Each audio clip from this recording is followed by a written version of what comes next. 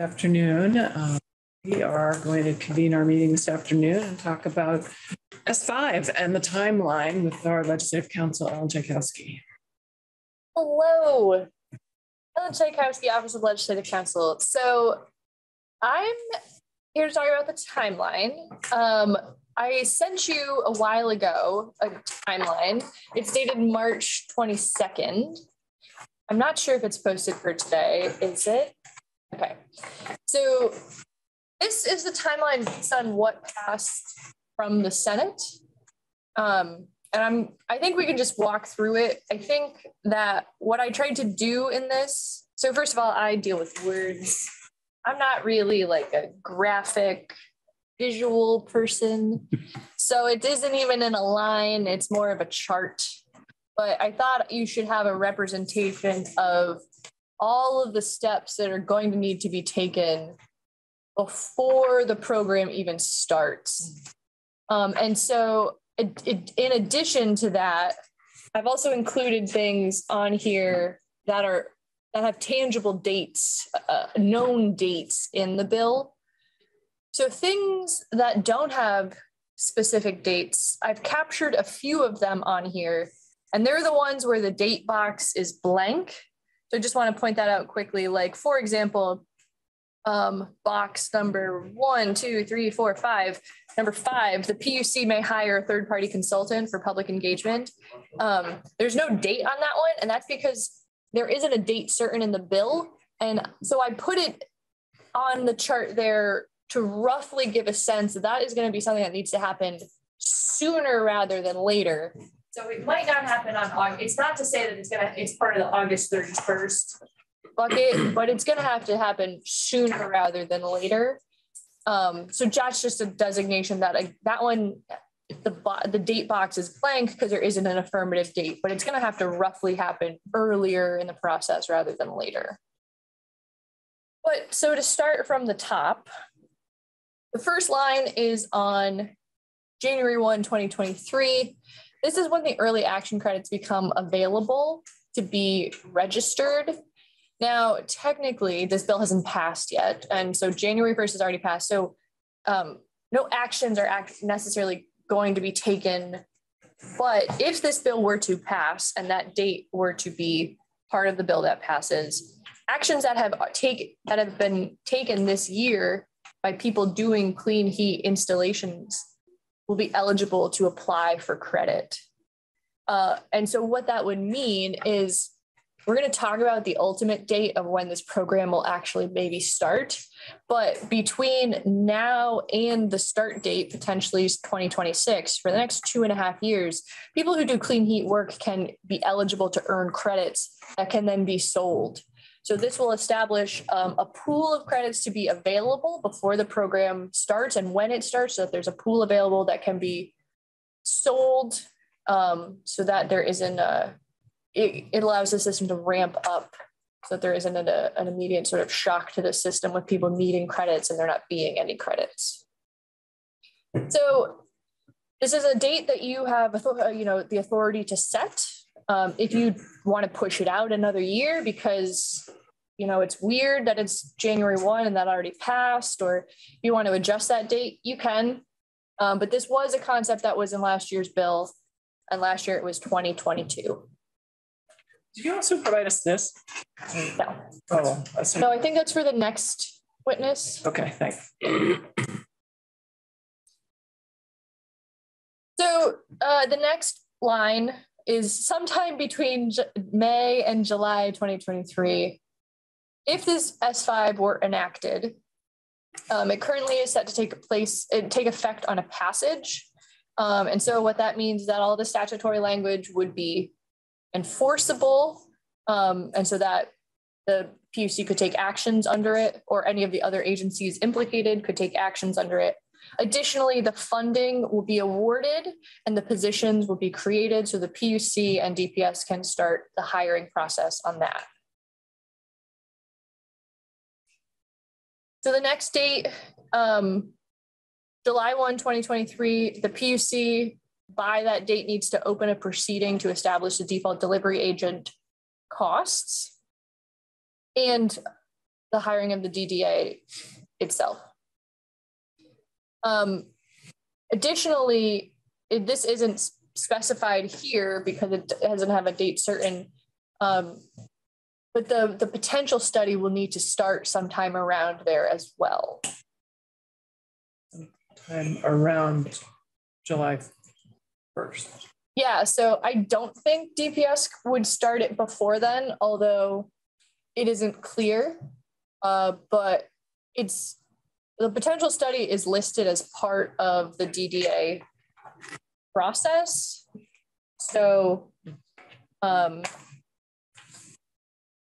it's it's listed as part of the proceeding that starts on July 1. So I don't I don't know exactly how they normally handle that if they start it on the day of the opening of the proceeding or if they start it within a couple days after the proceeding has been opened. I don't know what the initial steps of it are. So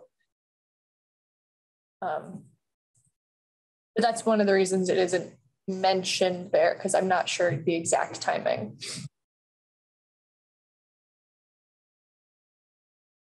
Um, so next is August 31st, 2023. The PUC needs to commence the proceeding on the clean heat standard by that date. I think potentially they may start it earlier. They may start it in July. Um, but that is when officially they have to start the proceeding by. And so then, as I mentioned before, there isn't a date certain, but the next, I think the next item is that they're going to need to hire their uh, facilitator for public engagement, um, particularly because the next box is they need to hold at least six public hearings or workshops. And presumably, you want the public engagement facilitator to facilitate those meetings. So the proceeding is going to start, and you want to you want to get public feedback on the clean heat standard rules. You probably want the facilitator to be hired sooner rather than later so that they can assist with the public meetings. And there isn't a date certain by which the public meetings need to be held, but they probably need to be held sooner rather than later because the information gained there will be from the members of the public, but also the stakeholders, including the other state agencies and um, the, the potentially obligated parties. Um, so you'll want the, the feedback to be given to the PUC sooner rather than later.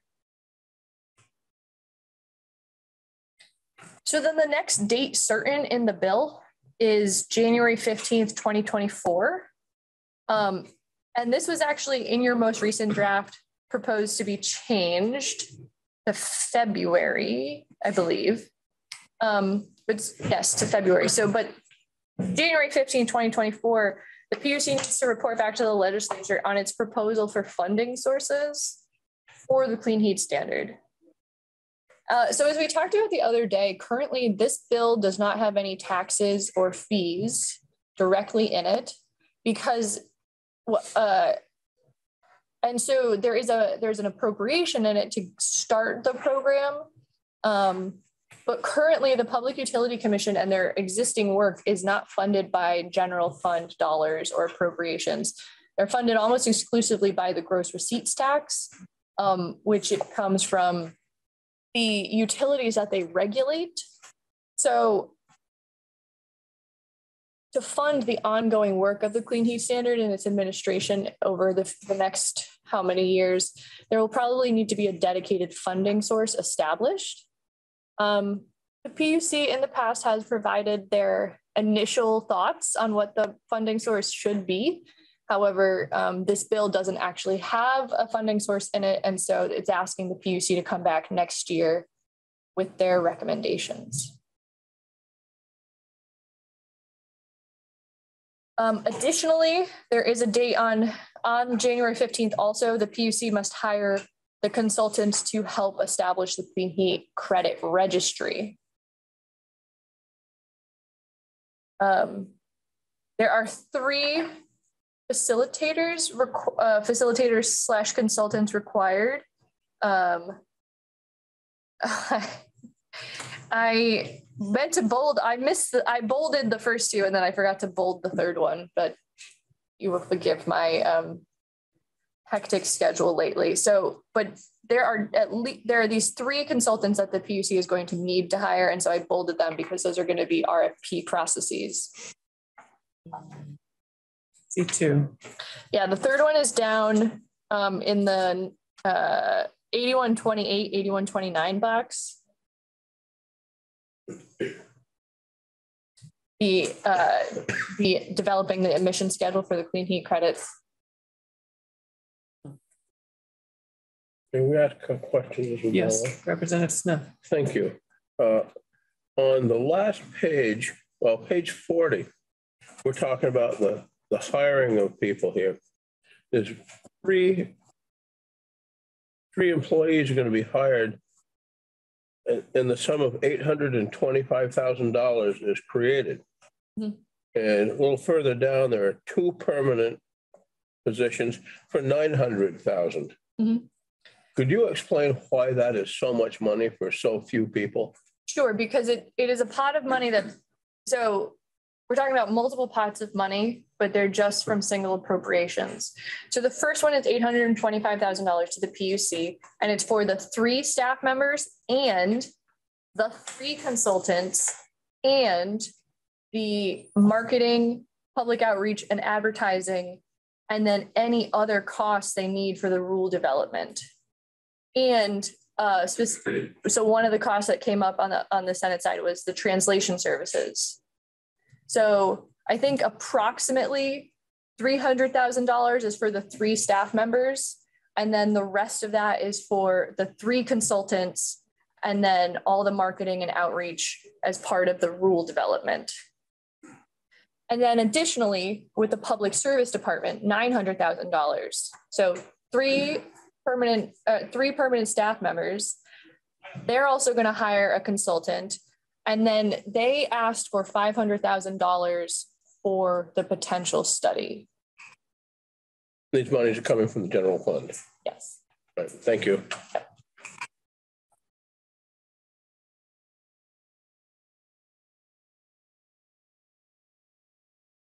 So um, on January 31st, 2024, the entities are going to have to start registering with the PUC if they sell heating fuel in the state.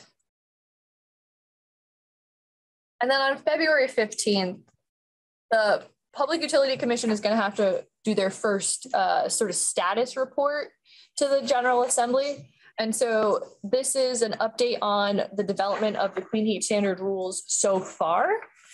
And so I just want to list some of the things that that report has to include. What page are you on? So, oh, I'm on page 37 of the bill as passed by the Senate and so that would be 39 in the most recent draft. Yeah, 39. The check back reports, two of them. There's one next winter and then the winter after. So this, in the check back report, they're going to need to have um, estimates on the impact of customers, including customer rates, fuel bills for participating and non-participating customers, net impacts on total spending on energy for thermal sector end uses, fossil fuel reductions, emission reductions, and if possible, impact on economic activity and employment with high, medium, and low estimated impacts. Additionally, they should report on any um, need for enforcement or other any any other aspects they need legislative approval for. Um, so in addition, by next February, they will have hopefully started drafting the rules after they've had all these public hearings. They're also going to have to write this report that has quite a bit of economic modeling in it. And then submit that to the General Assembly. They're also going to have to report back on the funding they're going to need.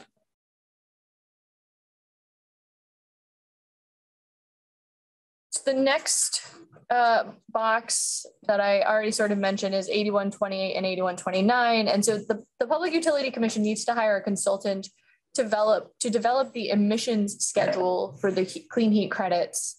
And so that's all the work that's um, part of 81, um, 28 and 29, which relates to uh, what are the emissions calculations? What, what's the modeling that's going to be used? First of all, they're going to need to look at the, the GREET model or whatever analytical model they choose to go with um, to then do the analysis to look at the different fuel types that are used and what their emission um, schedule is, and then also look at the different clean heat measures and what types of how much emissions reductions each of those measures lead to. Um, additionally, they're going to need to appoint the members of the technical advisory group. And then uh, your last draft got rid of the equity advisory group. But if you went with that, those members would also need to be appointed um, fairly quickly, uh, Uh, particularly because the equity advisory group is supposed to be involved in the public outreach during the public meetings. So that one little box is doing a lot of work. There's a lot of other details there, but these, these are details that are not necessarily given specific deadlines in the bill because they really are part of the overall development of the whole Clean Heat Standard program. So there's a lot of math involved in this box specifically, but there is also the appointment processes. People are going to need to apply to be on the tag for the equity advisory group. And then the PUC is going to need to review those applications and appoint those people. Representative Stebbins. Thanks, Madam Chair.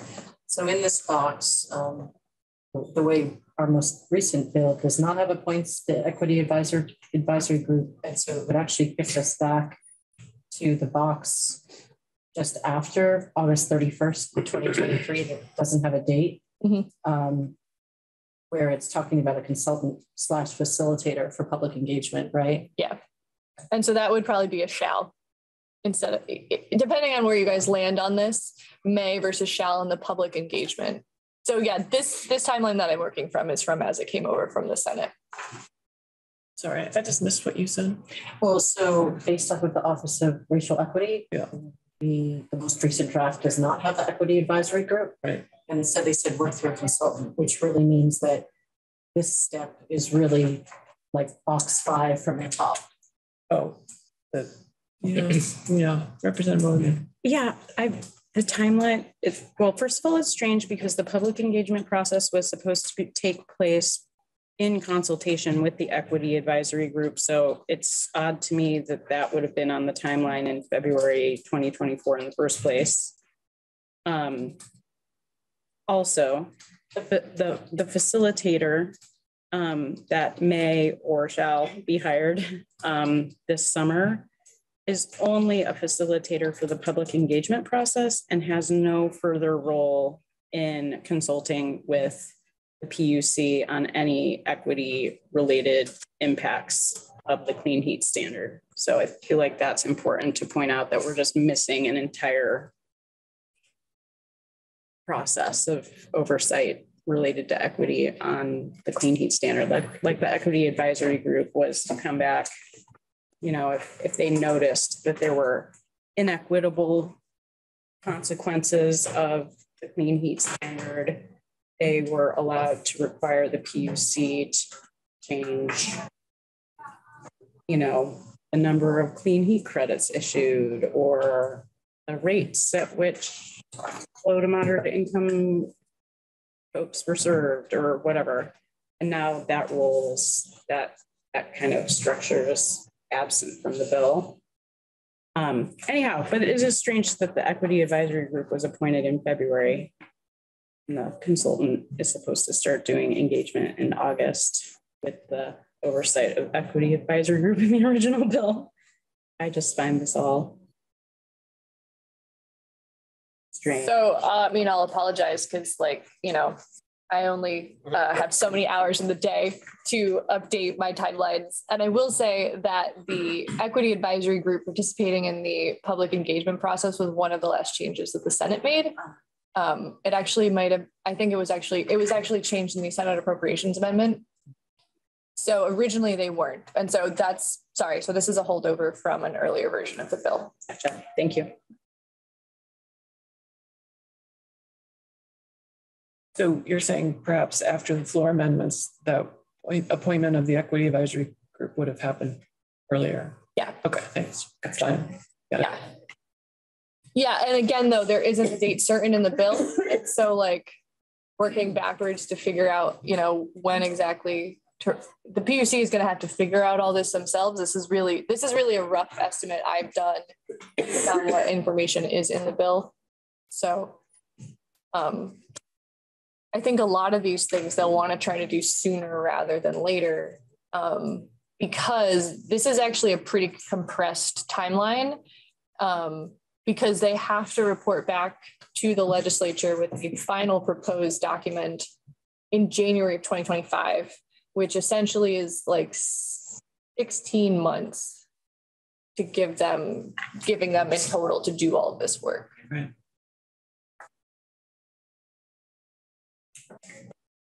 Um, so the next box also doesn't have a date, um, and it is not going to happen in February of 2024. So we just want to assert that. The issues draft rules for public comment, I think February 2020, it's not going to happen in February 2024. That seems, but this is just to indicate that sometime before January 1, 2025, you're going to have to issue a draft proposed rules. Um, and there needs to be at least a 30 day comment window on that. Um, so counting backwards, it probably is going to happen in the fall of 2024. Um, but maybe they'll have draft rules earlier than that. I'm not sure.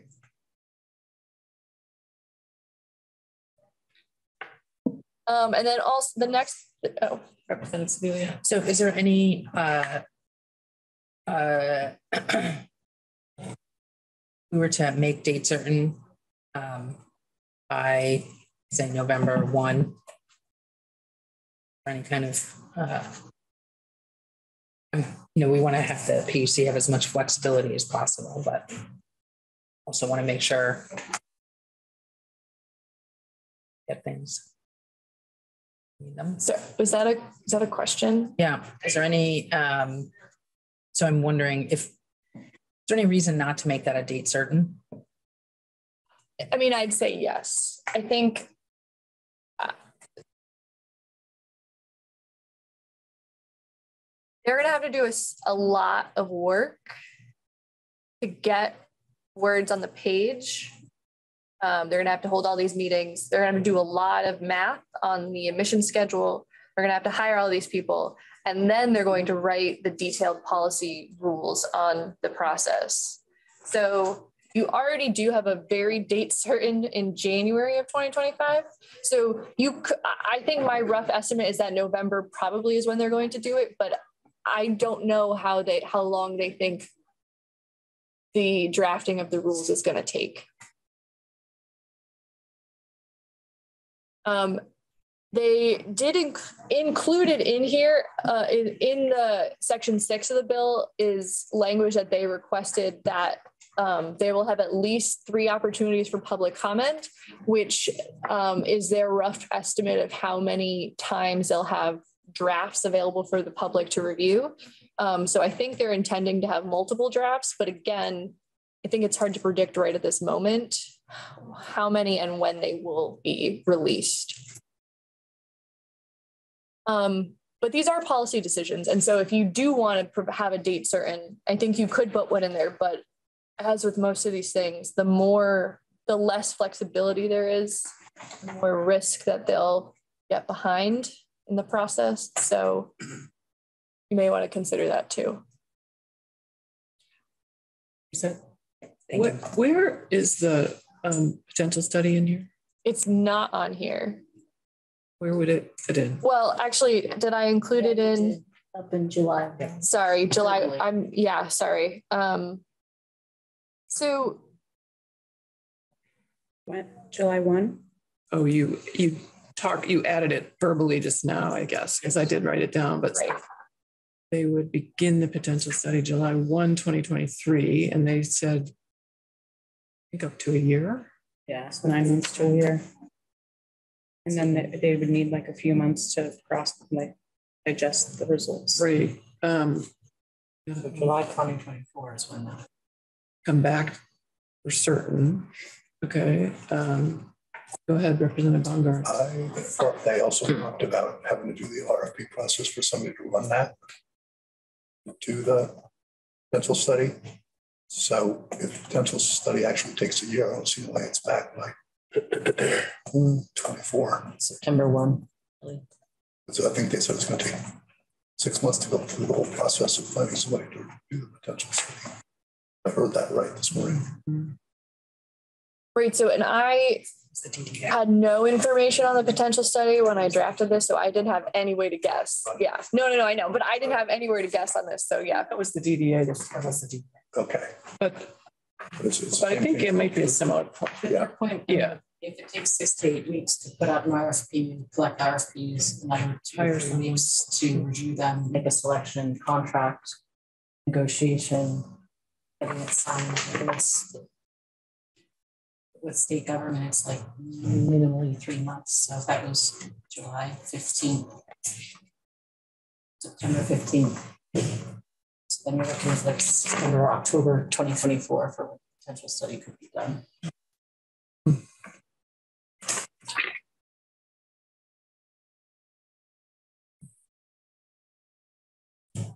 So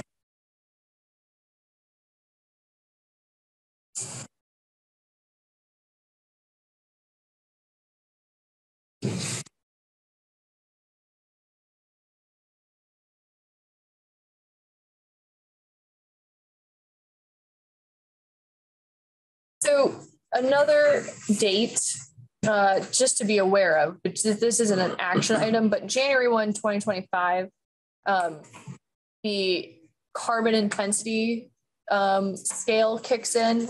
And so uh, the PUC also needs to establish the decrease rate for the acceptable carbon intensity value um, in January 2025 for the years 2025 to 2030. Um, and then, so then there's the, the big date, which is January 15th, 2025. Uh,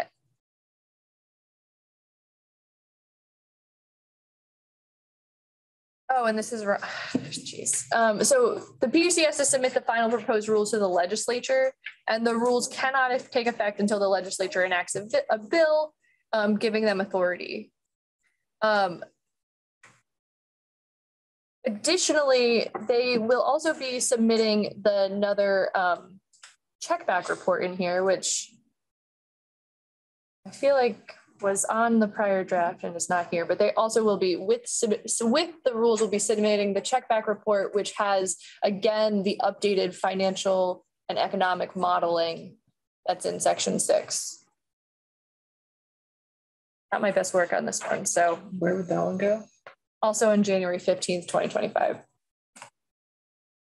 And say one more time, it's the check back for, Yeah, so it's the report I read you the details on earlier, which is in section six I. So again, it's the economic uh, and price modeling.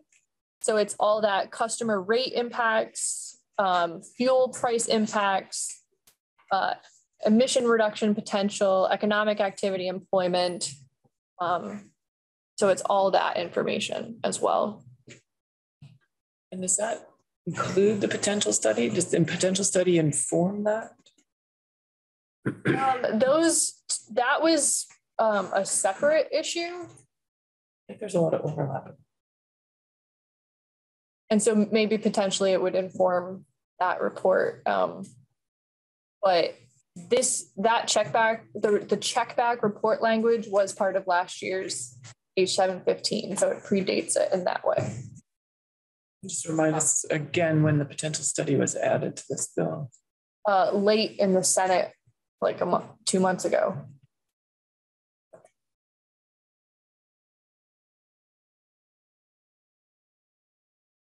So um, the next box, okay, so let's talk about June, uh, January 15th again for a minute. So the, the final rules are going to be submitted to the legislature.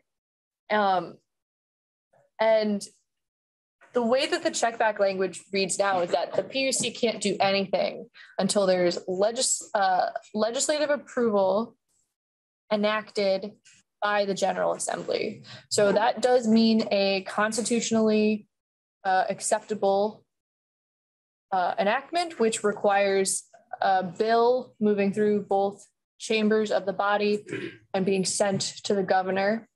Uh, the governor would then have the option to sign or veto or let become law without his signature and come back to the legislature for veto override.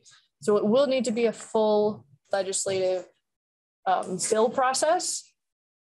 Additionally, you will have the opportunity to review the rules and make changes either um, directly in the statute, which would then impact the rules, or um, changes can be made by the PUC to the rules before they are approved and sent for final approval to um, LCAR. So it won't be an up or down vote necessarily on the full rule package. You'll have the ability to um, impact what they the final rule will look like. Um, so that process will probably take the length of a legislative session Mhm. or close to it. Representative Smith. Thank you. January 15, 2025, there could be a half a dozen different people sitting at this table. Uh, That looks to me like it, it's going to allow maybe two weeks for new people in environment and energy to figure out what S5 is. No, no, no. So that's when the PUC has to submit them to the legislature. The legislature doesn't need to do anything. It has its own timeline. So there's no bearing on the legislature and what time they have to act on those rules, but they have to be submitted. Okay, okay, I, I see, okay. Yeah. And so actually there's a typo in the next one. So I, I left the June 1, 2025 date, which should actually be struck. So because of the check back provision, June 1 is no longer accurate. The PUC will not submit the final rules to the Secretary of State and LCAR until the legislature enacts its approval. So I will be submitting a new updated timeline correcting all of my mistakes. Uh, Apologies, but June 1 is not when um, this version of the bill currently says. The bill that was a, that came out of Senate Natural Resources had June 1 as the deadline, um, but the Senate Appropriations Amendment changed that. So the rules will come to the General Assembly and they will stay here unless and until you approve them. So if you don't act on them in the, the 2025 session, they will not go into effect. And have we done that before? Um, No. So they'll stay there until we act upon them. So, but you're saying that have to act on them in that biennium? No, No, so No. it could, it could wait. If, if that legislature doesn't act, the next one would, because it's still, sick. okay. yeah, So, but to be clear, these will be rules that we put into statute? Or would we approve the rules that come to us in a vague way and then the rules could then still be changed like rules? yes. Um, in 2025, there will be multiple options for what happens. Um, the, there could be a range of different actions that you could take as a general assembly. Um, the simplest one would potentially just pa- be passing a statement, either a session law provision or something like that, that would say we authorize the PUC to uh, go forward with the rules they've presented. Or you could pass a piece of legislation that says the PUC shall not adopt the rules until they have clarified in the rules that um, there is a blank on blank. Like if they, if you want to make a, an assertion about something they need to change, you could do it in the bill. You also could make an amendment to the statute that would directly impact the rules, that would require them to make a change. Um, because any, this proposal still requires them to send the rules to LCAR for a final review after the legislation, after the legislature gives its approval. So there will be another look back by the legislature before the rules are final. Additionally, you could you could direct the PUC to make changes to the rule um, to meet legislative intent, and then they could, um, after you pass the uh, approval, then they could file them. Or you could potentially go with codifying them in the green books if that's something you wanted to pursue. And the only example of that is with the fish and wildlife rules. So that is a unique structure, and that would give the legislature the ability to specifically rewrite or change the rules themselves if you wanted to do, if in 2025 the legislature wanted to themselves, or you could just pass statutes that would directly impact the rules. So there are actually a number of options that the legislature could have depending on how many changes you want to make to the rules that the PUC have drafted.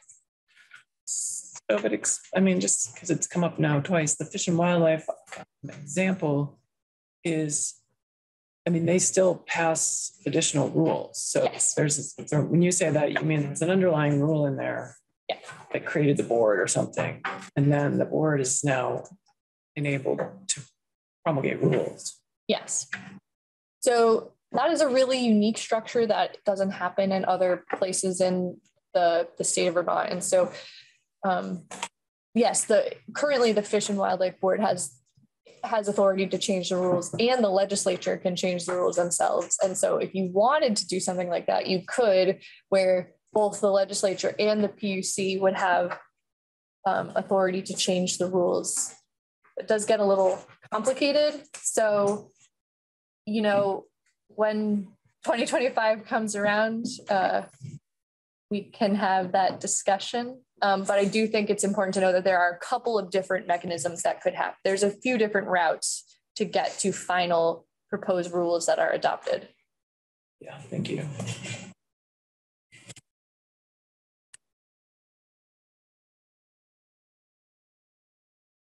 Uh, so if in 2025 the General Assembly allows the rules to be adopted, after the rules are adopted in August 2025, the first, the next report will come out from the PUC um, describing the rules that have been adopted and, and steps taken since they have been adopted.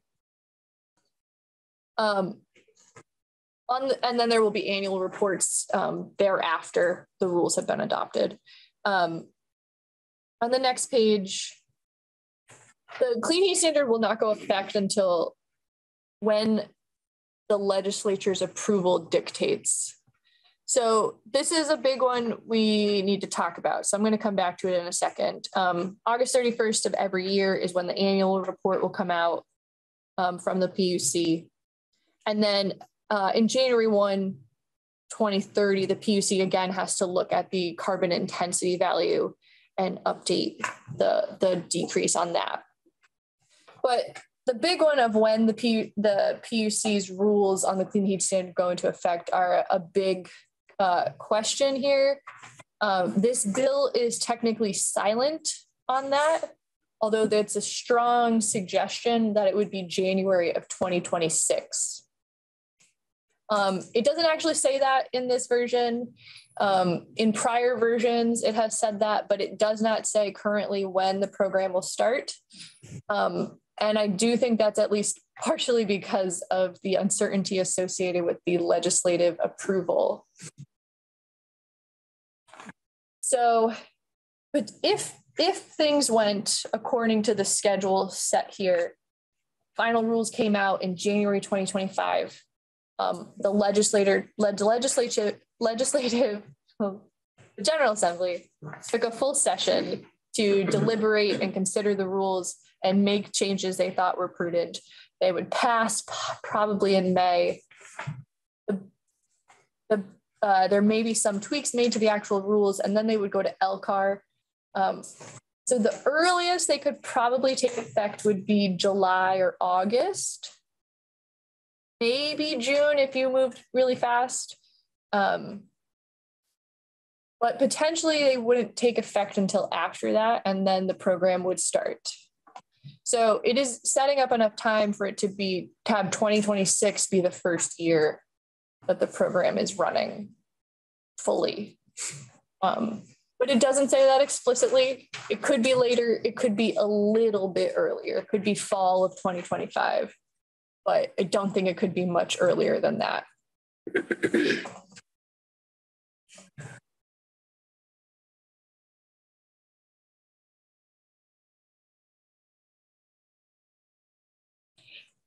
So I think there are some big questions in here. Um, my typos aside, my mistakes aside, I have pointed out the dates certain in this bill. I do think there will be a lot of additional work. The PUC is going to have to be keeping track of hiring processes, appointments of members to the tag, um, and getting all the consultants to set up not only the default delivery agent, they're going to need to establish the credit market and the registry and be working on setting the amount of credit reductions or emission reductions needed every year, how many credits that translate to, and the price of credits. So there's a pretty significant body of work that needs to take place between this summer and January of 2025.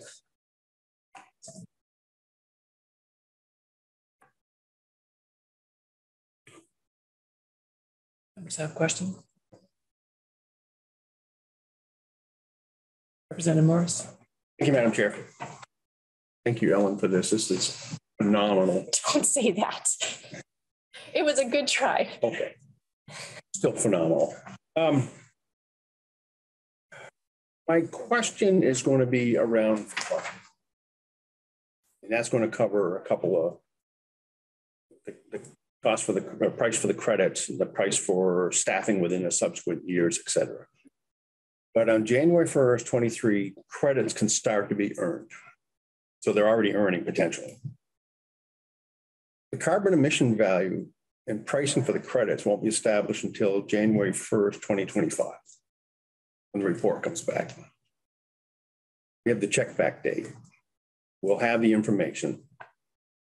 Start the process to approve it on. Back up a half step or one year.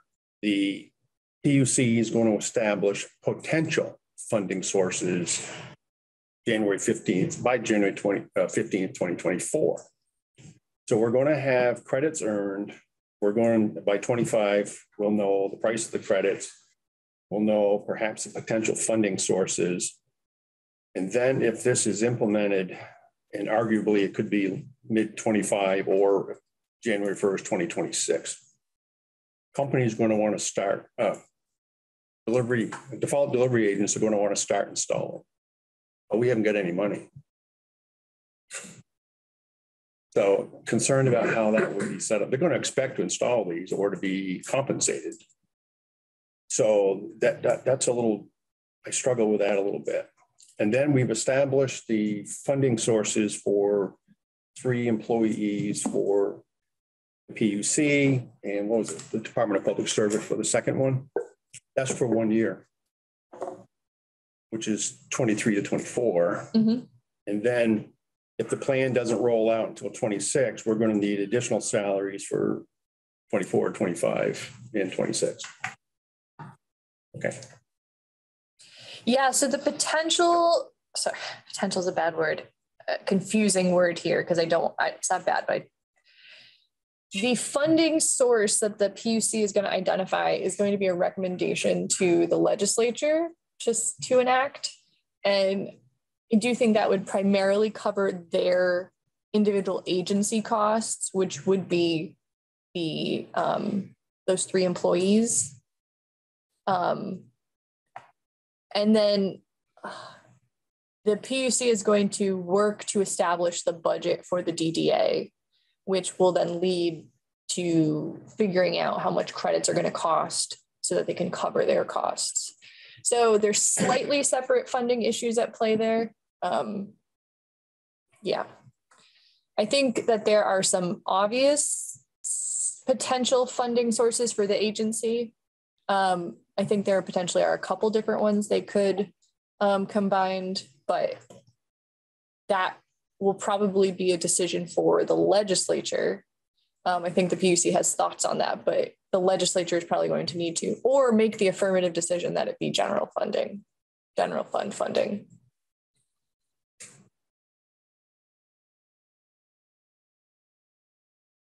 Thank you. Questions? Thoughts? No, Representative Tory. Oh, yeah, just to um, Representative Morris's concern about there not being enough money for any measures to happen. Is that, did I hear you say? that? We're setting this program up and there hasn't been any funding identified, correct?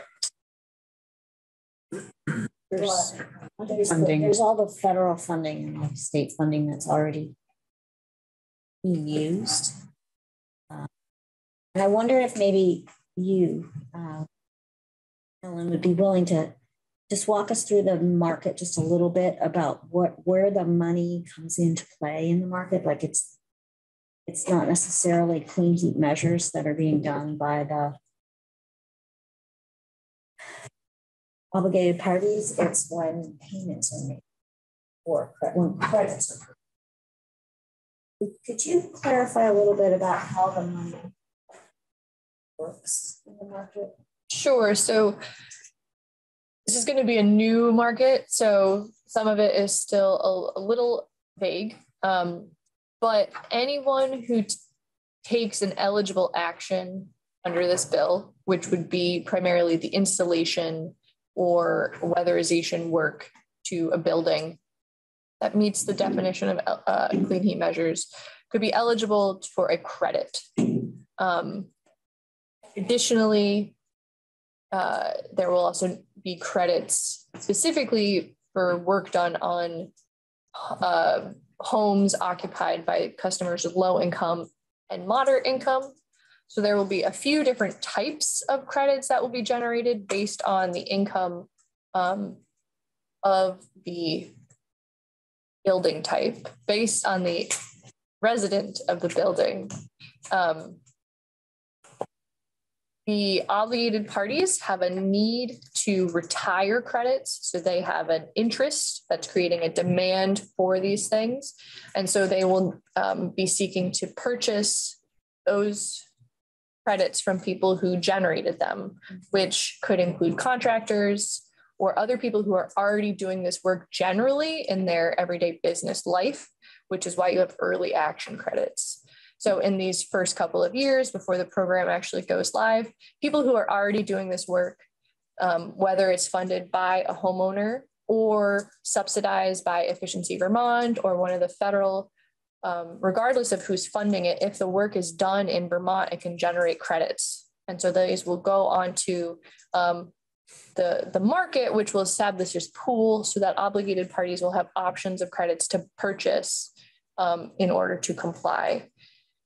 Um, at the moment, uh, the economics of this haven't been borne out by some of the details yet, um, but it, it's still an open question about what the price per credit will be. Um, it will relate to the amount of um, carbon equivalent, carbon dioxide equivalent emission reductions the action leads to. Um, every obligated party will need to have a certain amount of these credits, so they will be worth something to those uh, obligated parties. So they will be, it, it's unclear at the moment how much they will be paying for those credits. Um, so it is unclear at the moment exactly how much each credit is going to cost. Um, how did I do? I was in circles there a little bit, but I think we also heard it from the Corian. She was talking about Oregon's market and the fact that it's these transactions between those market actors. It's not like a fund that's collecting a lot of money, which I think there will be some of that when the, des, the DDA gets into the picture. right, With those that choose to just write a check right, to the DDA. But there's all this other activity between those market actors, buyers and sellers, that's not going to end up in some pot. I just, I thought I'd just clarify that because I was having a little trouble kind of thinking through market. So I don't know if anyone else There is a graphic that Energy Action Network has that shows it's a graphical presentation of the market. Any more questions for Ellen? Thank you. This was really helpful. Um, look forward to your changes, but it is really a good timeline. So thank you. I just feel like two weeks ago on March 22nd, I may have been sleep deprived. Uh, well, and the bill was um, in motion significantly. Yes. Yeah. We understand. Okay. And actually doing it a little real time probably helps us catch up too. That's good. It's fine. Right, great numbers. Let's take a um, 10 minute break and come back at five. Right, so we're reconvening our meeting and continuing our discussion of S5, and we have with us Allison Despathy from Danville. Yes, thank you so much. My name is Allison Despathy, and thank you, Chair Sheldon, for allowing me the opportunity to be here today. Um, first, I just wanted to start. There were two pieces. One, I want to thank you all so much. I watched most of the testimony, most all of it from last year, and also in the Senate. And I just wanted to say to you all that um, you really have a loud, robust, honest, effective conversation, in my opinion, that I wanted to share compared to what I saw in the Senate. And I just appreciate that is that that's happening here. It's very important to the process. So I wanted to point that out. And the other thing, uh, before I sort of dive in, I guess it's also part of it here. I came into my concerns around this because um, as you, I'm sure all you're here because you care for people and you care for the environment. You're tasked with a really difficult job right now. You're trying to find a solution that serves both. And that is difficult. And I appreciate that. And I thank you for doing the work on it. Um, so the reason I came into this legislation and was really sort of concerned about it was because of I'm a nutritionist, so I've been sort of fighting GMOs for a long time, and I had issues around the biofuel piece um, that wasn't dealt with at all last year. Um, there are some steps in it or in it now that obviously make it a little bit better with sort of phasing out, but I still have a lot of concerns around that. The other piece is the carbon credit system. So the clean heat standard, which is really what the bill is, and the clean heat standard equates to the carbon a carbon equivalent, which was defined and established in the Kyoto Protocol of the UN, out of the United Nations. And so all of my research in the past decades, and I won't go through all of it, but so basically, Bill Drayton in the 1970s came up with through the EPA. He worked for McKinsey before. He came up with emissions trading. We're going to do emissions trading. And then essentially, for decades, really through the 90s, a lot, they were like, what is carbon? You know, is carbon a commodity? It's a currency. What's what is it? So they were really starting to try to establish carbon on the market. And so the question is, is working with a clean heat standard carbon equivalent going to serve Vermont.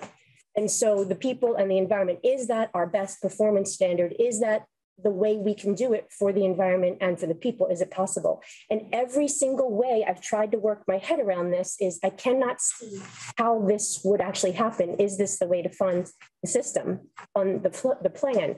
And, and I just want to also sort of preface that there's two big issues there's there's massive fraud in carbon markets and carbon trading. There's tons of greenwashing that goes on. The Nature Conservancy is responsible for it. They are basically middlemen right now. They have been called out by Bloomberg 2020. There's been big conversations about they are essentially saying here's this protected land it's already protected we're going to buy the carbon offsets and we're going to sell them to disney blackrock jp morgan.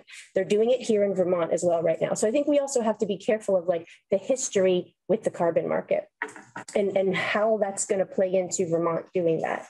So one so that's what sort of brought me into this.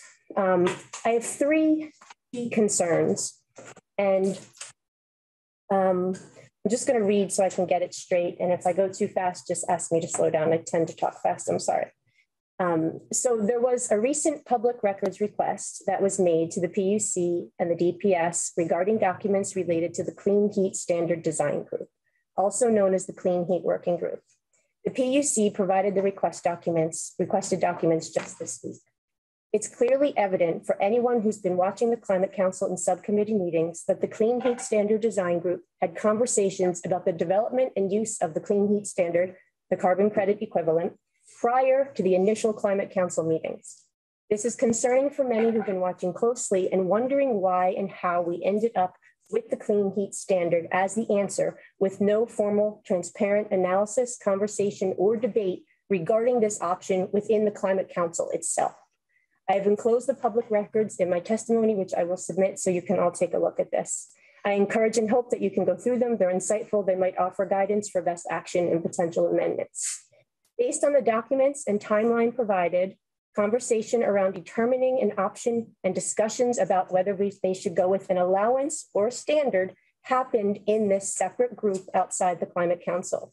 The standard was decided within this group and then presented to the Climate Council as the path. It was then officially adopted, and there's no record regarding any robust analysis and conversation within the council on the clean heat standard. It does not appear that the private meetings were shared with the Climate Council either. There was a white paper submitted to the legislator from these meetings. However, it does not appear that this was discussed with the Climate Council either. Yesterday, Charity Clark sat here and she discussed her support of the implementation of the clean heat standard as part of the climate action plan. She described that it was a well-considered policy by the Climate Council. However, acknowledging that the climate, that the clean heat standard did not develop within the Climate Council and originated outside of the council is relevant and deserves scrutiny, in my opinion. In this clean heat standard group that met outside the council, Tom Knauer of the PUC, Don Rendall, Neil Lunderville, Tom Murray of VGS, Richard Cowart, Jared Duval, and others were involved in these meetings of the Clean Heat Working Group. This legislation presents the PUC as an independent body tasked with creating rules and establishing this program, but it's clear that Tom Knauer of the PUC was on this Clean Heat Working Group. I fully understand the need for those knowledgeable in these areas to gather, brainstorm, but the different options were not then presented to the Climate Council of, hey, here's what we come up with, here's some ideas, let's go through this and decide what's going to work best for Vermont. None of this deliberation and decision making seems to have been shared with the Climate Council in the meetings. This is relevant. Like I said, I attached. Would the Climate Council have supported the clean heat standard choice if given the options? At this point, we do not know. Due to this situation and the questions and concerns it surfaces, what many want to see is that the history of the development of the clean heat standard become part of the discussion at the legislature this session. What many Vermonters want more than any particular outcomes is an honest and transparent process, which based on these public records appears to be compromised. There's several meaningful quotes that came from the meeting minutes. From December 15th, 2020, Don Rendall of VGS VGS has not yet seen reduction in fuel sales in service territory due to heat pump installations. Specifically, fuel use was not significantly reduced in VGS territory among these, those customers that received Efficiency Vermont rebates for heat pumps. March 9th, 2021, Tom Murray of VGS, quote, People who got heat pumps a few years ago have had no decrease in gas use, using mostly for air conditioning. They put a single head system in a house that would need multiple heads. We would like to help to get heat pumps out there, end quote. In my opinion, these warrant that legislator or PUC request to see the data from G VGS regarding the clean heat pumps and their ability to reduce fossil fuel use in other words, are these worthy as eligible measures in reducing carbon emissions in how they are currently working? Also, obviously, this is going to vary on can you get the right system put in the house? Who's the installer? Are they trustworthy? Do they know what they're doing? What's going on right now? It's going to cause a flood of installers. Are they going to do a correct job? Who's monitoring, regulating, overseeing that process? My second key piece is um, Dennis Percy of Fred's Energy. He was just here the other week. You guys heard him. He was also in the Senate. Him and other fuel dealers have specifically requested in both the Senate and the House that a high efficiency heating system that reduces fossil fuel consumption by 50% should be counted as an eligible measure. This is a direct, clear, easy, measurable reduction in carbon emissions. This absolutely should be considered.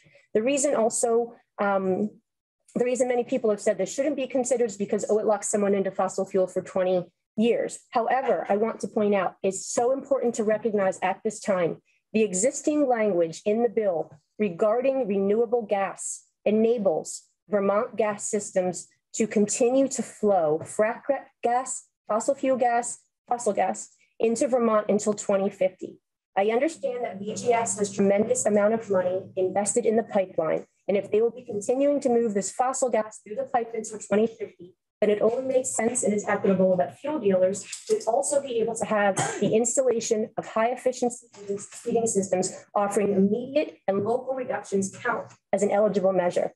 This can be revisited and removed at any point. I heard Ellen talk about this yesterday. Any eligible measure can be taken off, put on, et cetera, et cetera. So a VGS is going to be able to continue to move fossil gas, frac gas through their system till 2050, shouldn't an installer be able to put a high efficiency system in that has massive reductions in fossil fuel and will help the people as well as help the fuel dealers to sort of get in on this. Because right now the fuel dealers are limited to using biofuels, but not getting any credit for the known easily measurable reductions with replacing old systems with high efficiency new systems. Um, and I know yesterday you had asked, are we taking any sort of considerations or amendments from the fossil fuel dealers as we had were taken from Efficiency Vermont and Equity Office, et cetera. And so I think this would be one to consider. So by allowing high efficient fossil fuel systems, the fuel dealers are offered the opportunity to significantly help reduce carbon emissions, even by 50% or more in some instances. So this obviously, as technology evolves, this can be you know taken out but right now heat pumps unless you have a tremendous amount of money are supplemental systems and so there are many people i live in the northeast kingdom there's so much poverty there's a lot of people that absolutely they're they're living day to day they're not going to be able to take on a supplemental system and i know there's you know the um the wood systems that can be considered, but that's not going to be an answer for everybody. And if these are cutting, I mean, you heard the fossil fuel dealers, I don't want to be repetitive. They are significantly cutting um, carbon emissions, which plays into the GWSA, the goals of the global warming solutions. So with this in mind, my request, one of my requests is please consider striking from the bill on page seven, section 8123, under definitions number three, clean heat measures, quote, it says clean heat measures shall not include switching from one fossil fuel use to another fossil fuel use. I think this could be really clarified where you could have this potentially be an eligible measure if it reduced carbon emissions by a certain percentage. And I'm sure all of those metrics are known by the fossil fuel dealers and otherwise that you could look at independently, obviously.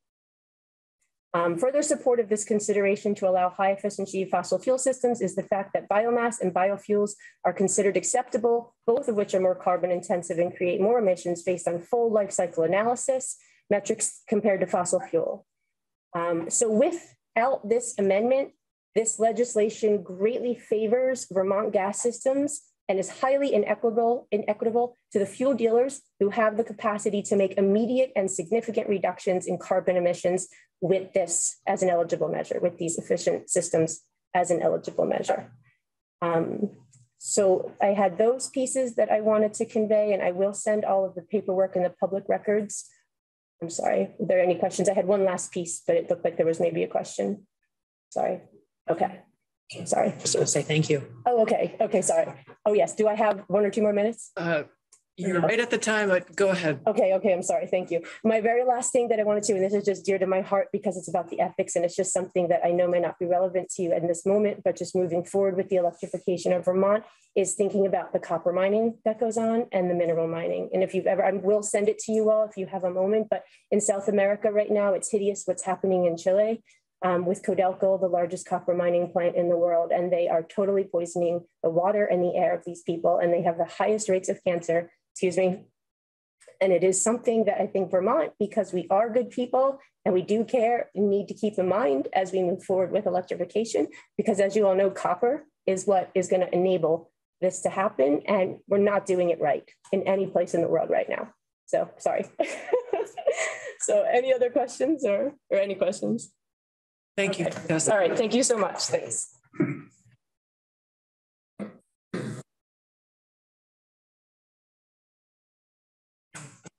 Next up, we have Bill Driscoll in the room. He's coming into the room.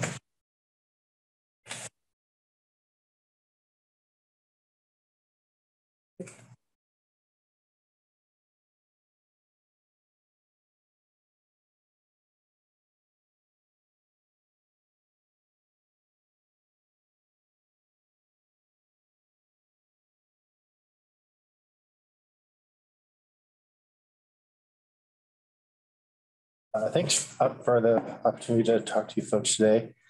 Um, For the record, William Driscoll with Associated Industries of Vermont. Um, We'd like to recommend you uh, with regard to S5. I think you should have them. um, I think they're on the website, so hopefully you have them electronically. They're up under your name. And um, so I had originally drafted these to the Senate pass version of the bill, so I changed them to uh, work with the draft from yesterday. Um, hopefully, I didn't miss anything in trying to make the adjustments, but that was what we did. Um, and these amendments were worked on. We worked with, uh, you know, in addition to Associated Industries in Vermont, primarily focused on manufacturing. Um, we worked with the state chamber, Lake Champlain Chamber, Associate General Contractors. So this is sort of our brainstorming of some suggestions to make. Um, we also checked in and consulted with um, with Global and with uh, um, the fuel dealers. Um, we've run these by Vermont Gas as well. Uh, so that's sort of the context of them of them uh, coming here before you.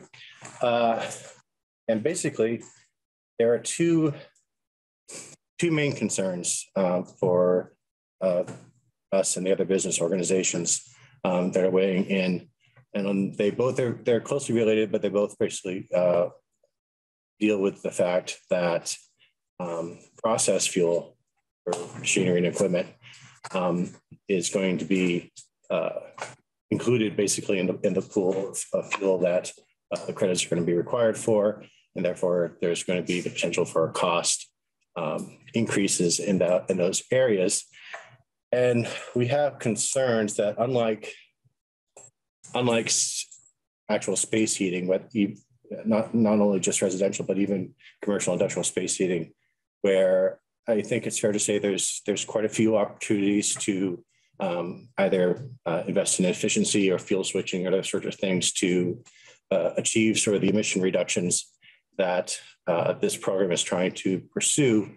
We're concerned that there's less opportunity to do that um, with processing applications. Not that there, not that there are no um, no possibilities, but it's, it's I think it's tougher to um, to be able to identify and implement the kind of measures that can help mitigate the cost impacts um, that, that could flow. So we want to ensure by sort of going through the bill and inserting um, some of these amendments that we have uh, for you that whatever help can be done or whatever projects can be done on the processing side uh, get the attention and support um, that they would they would they would need. We would have concern that you know, with the low hanging fruit of, of other projects, other actual heating projects, um, the processing side might get neglected or, or, or left behind. And we just want to try to avoid that. So we're not paying that cost, but not getting uh, the benefit of, of these of these programs.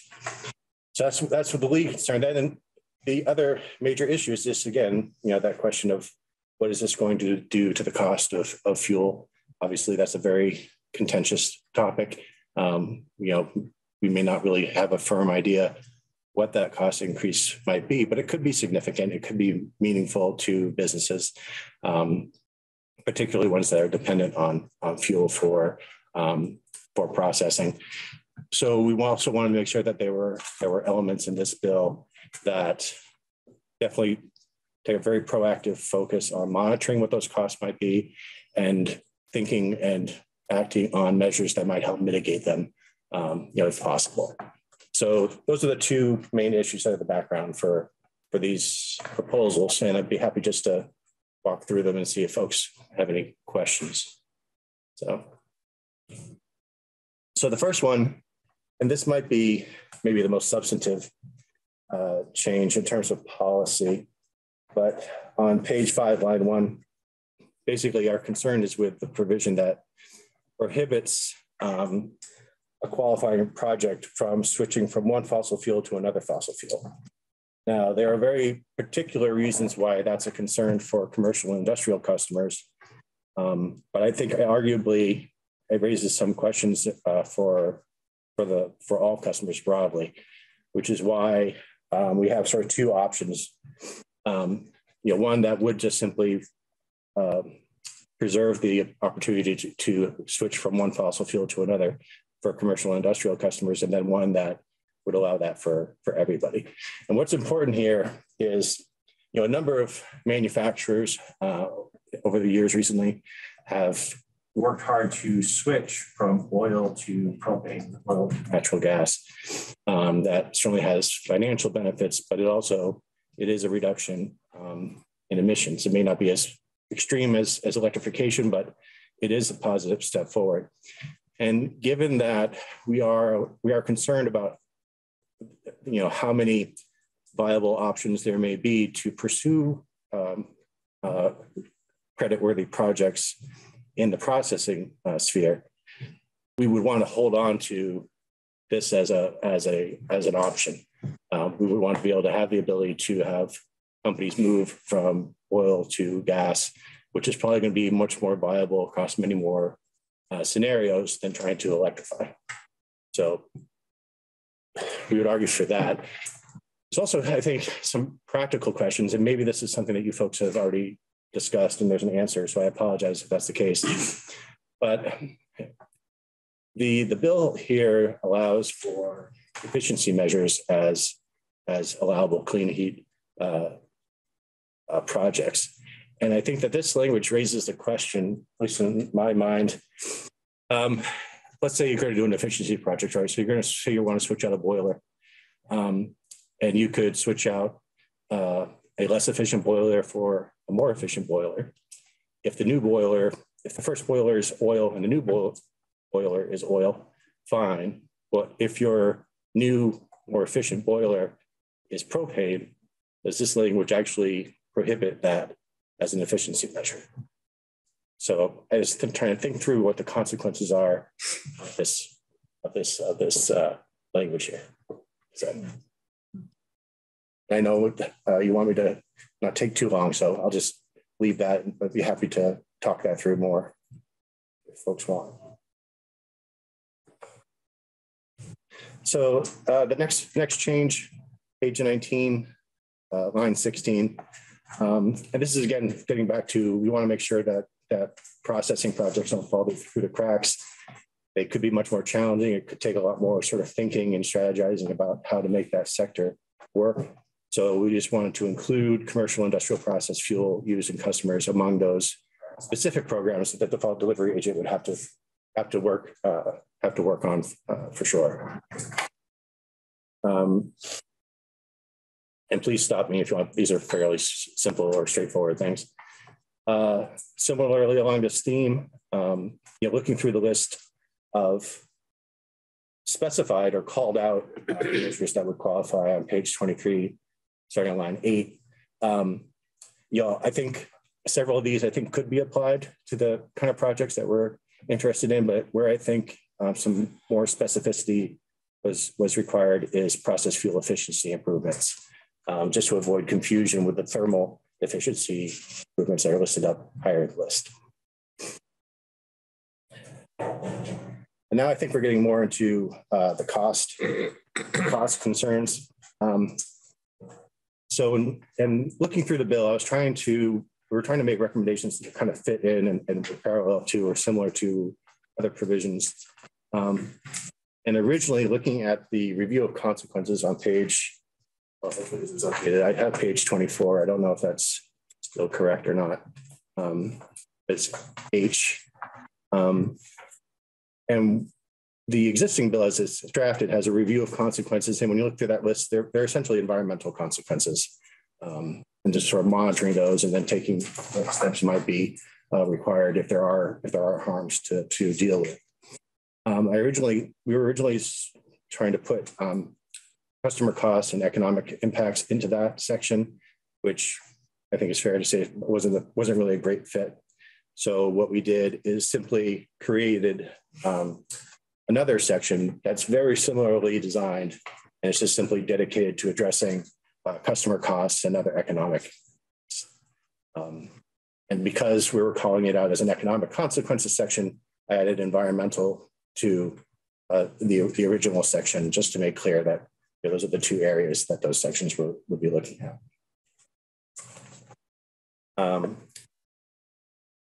And then the last major thing or, or lengthy uh, section is, um, as you know, there's language. It was originally a advisory group, but now there's language in the public outreach section about looking at equity issues. Um, we would like to see a similar focus on, um, on sort of the economic and process fuel issues that we have concerns about. So basically, we're just suggesting adding in on page 35, line 18, um, those lists of things to try to work and help and help in the development of the program on. Um, I condensed two of them, but basically as three points, they're very similar to ones that are in there already about equity um, and just have that encompass uh, the economic and the processing issues that we have concerns about. And then finally, um, maybe the least significant one is because of our interest in having these topics um, on a higher profile and being dealt with directly, um, we've felt that the check back reports ought to also go to commerce and ways and means. And I, I neglected to include economic development in the Senate. That would probably also make sense without this. So that's what we have for recommendations. I will say that um, we do support the idea of having some sort of authority for the commission to look at price caps.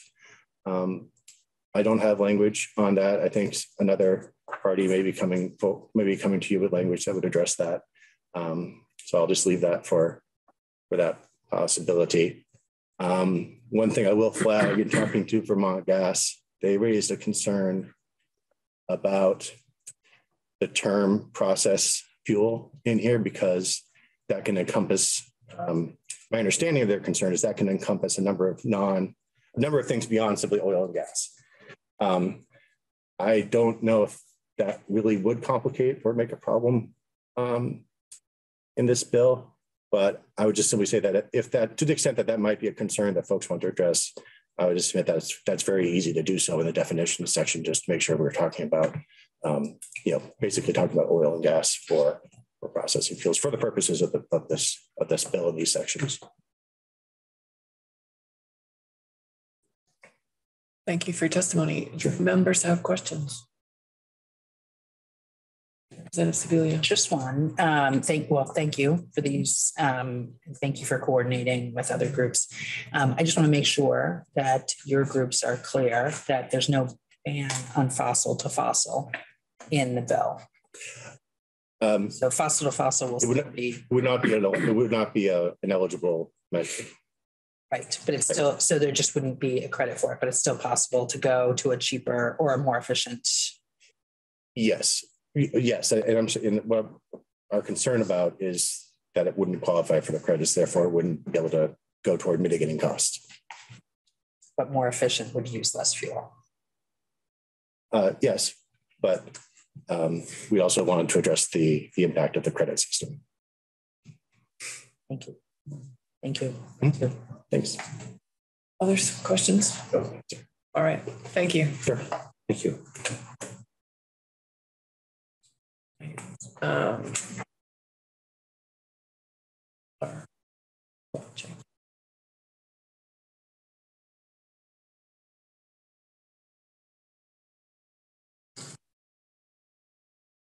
Yep, we have Ben Edgerly Walsh. Welcome. Thank you.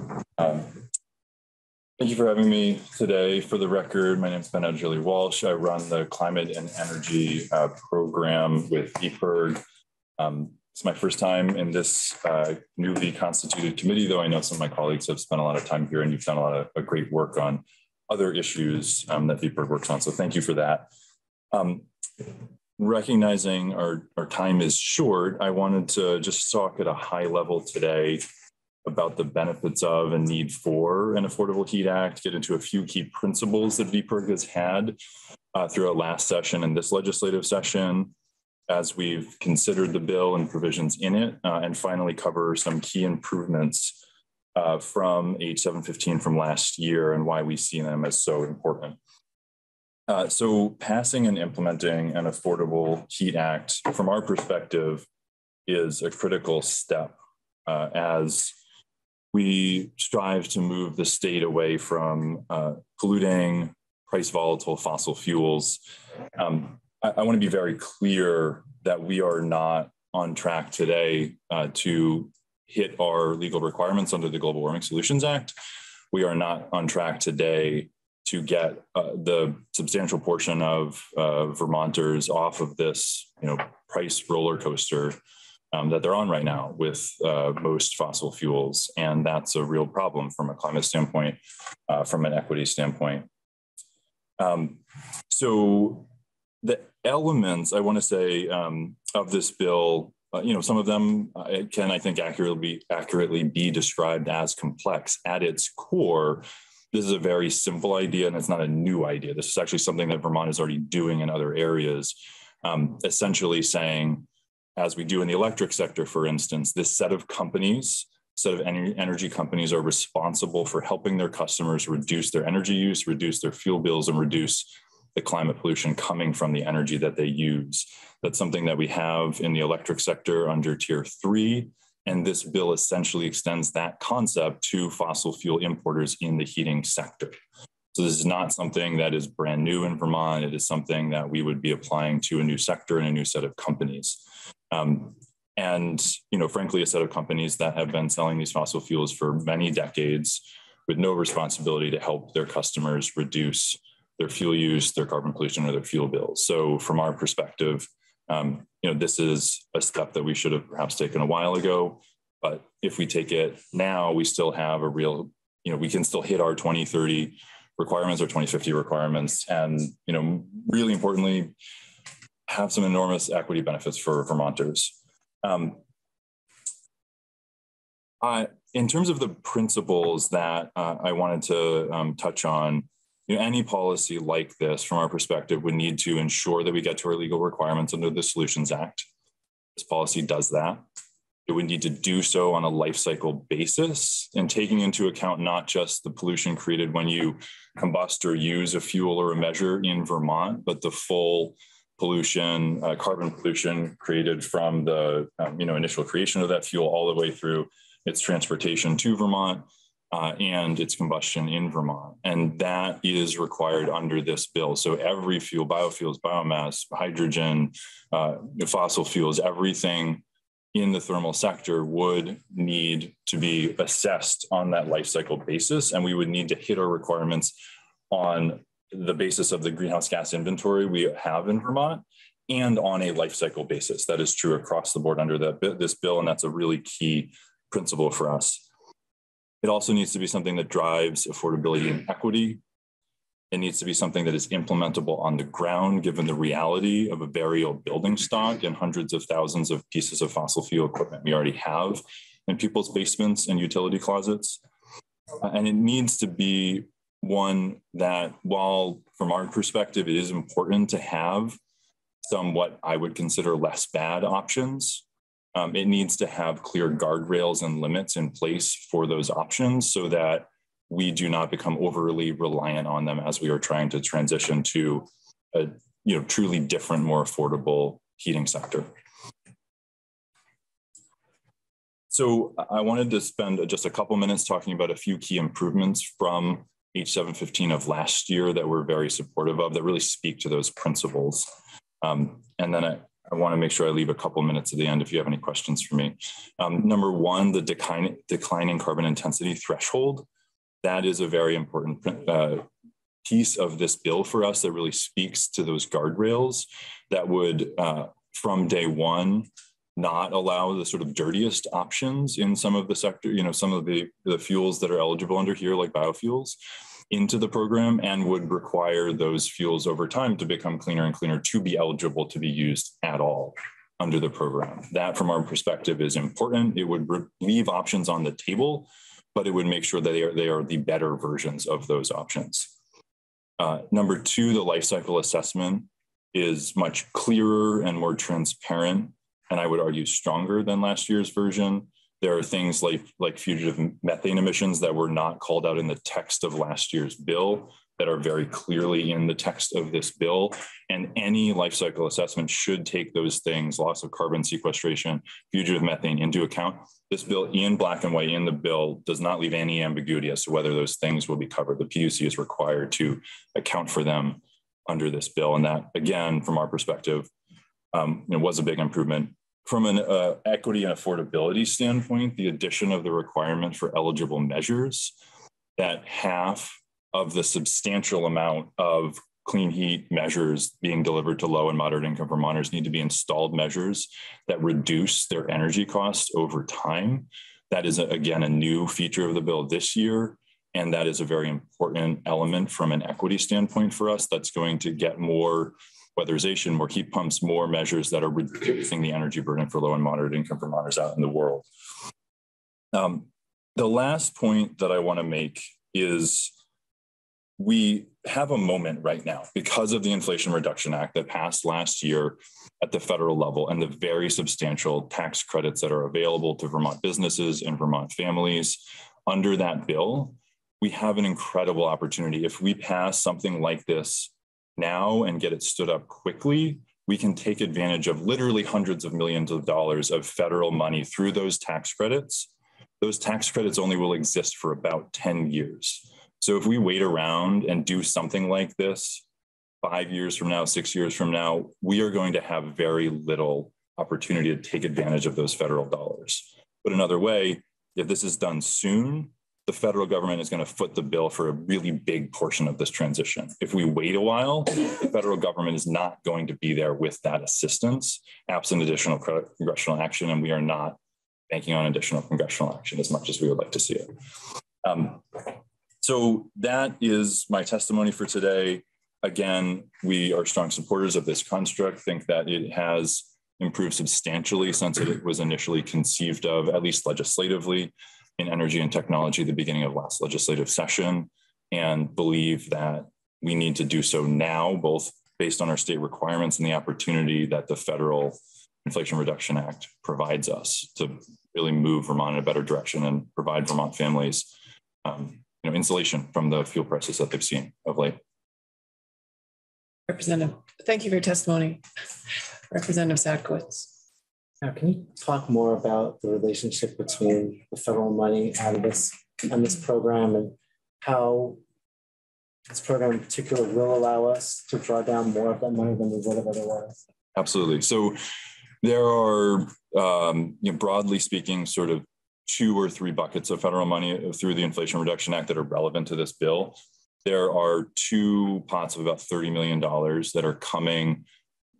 Uh, regardless, they're just this is formula grants that all of the states are getting a portion of. So Vermont's going to get about $60 million in money for direct rebates that'll be administered by the state. That's probably going to start going out the door in 2024. That is not affected by this bill. That much money is going to go to low and moderate income Vermont families regardless. The piece uh, that is affected by whether or not this uh, bill passes are the substantial tax credits that are available. For individual households, there are tax credits of 30%. It's a little complicated. There are some you know, caps on specific types, you know, up to 2000 for a heat pump, up to, you know, different dollar figures for different technologies. But essentially, for just about everything eligible under this bill, there would be a 30% tax credit that a Vermont family could take advantage of. There are also tax credits for businesses. They're structured a little bit differently, but they're also very generous if you meet prevail- prevailing wage requirements. Um, and again, are eligible, you know, for essentially everything that's part of this bill. Um, I do want to note that unfortunately, the way the Inflation Reduction Act was structured, those are all tax credits. They're not refundable tax credits, so low and moderate income Vermonters don't have access to those same tax credits. Um, that's unfortunate. It's something that I think the state has done a lot to ameliorate with state uh, funding over the last couple of years to the tune of about $150 million for low and moderate income incentives in this space.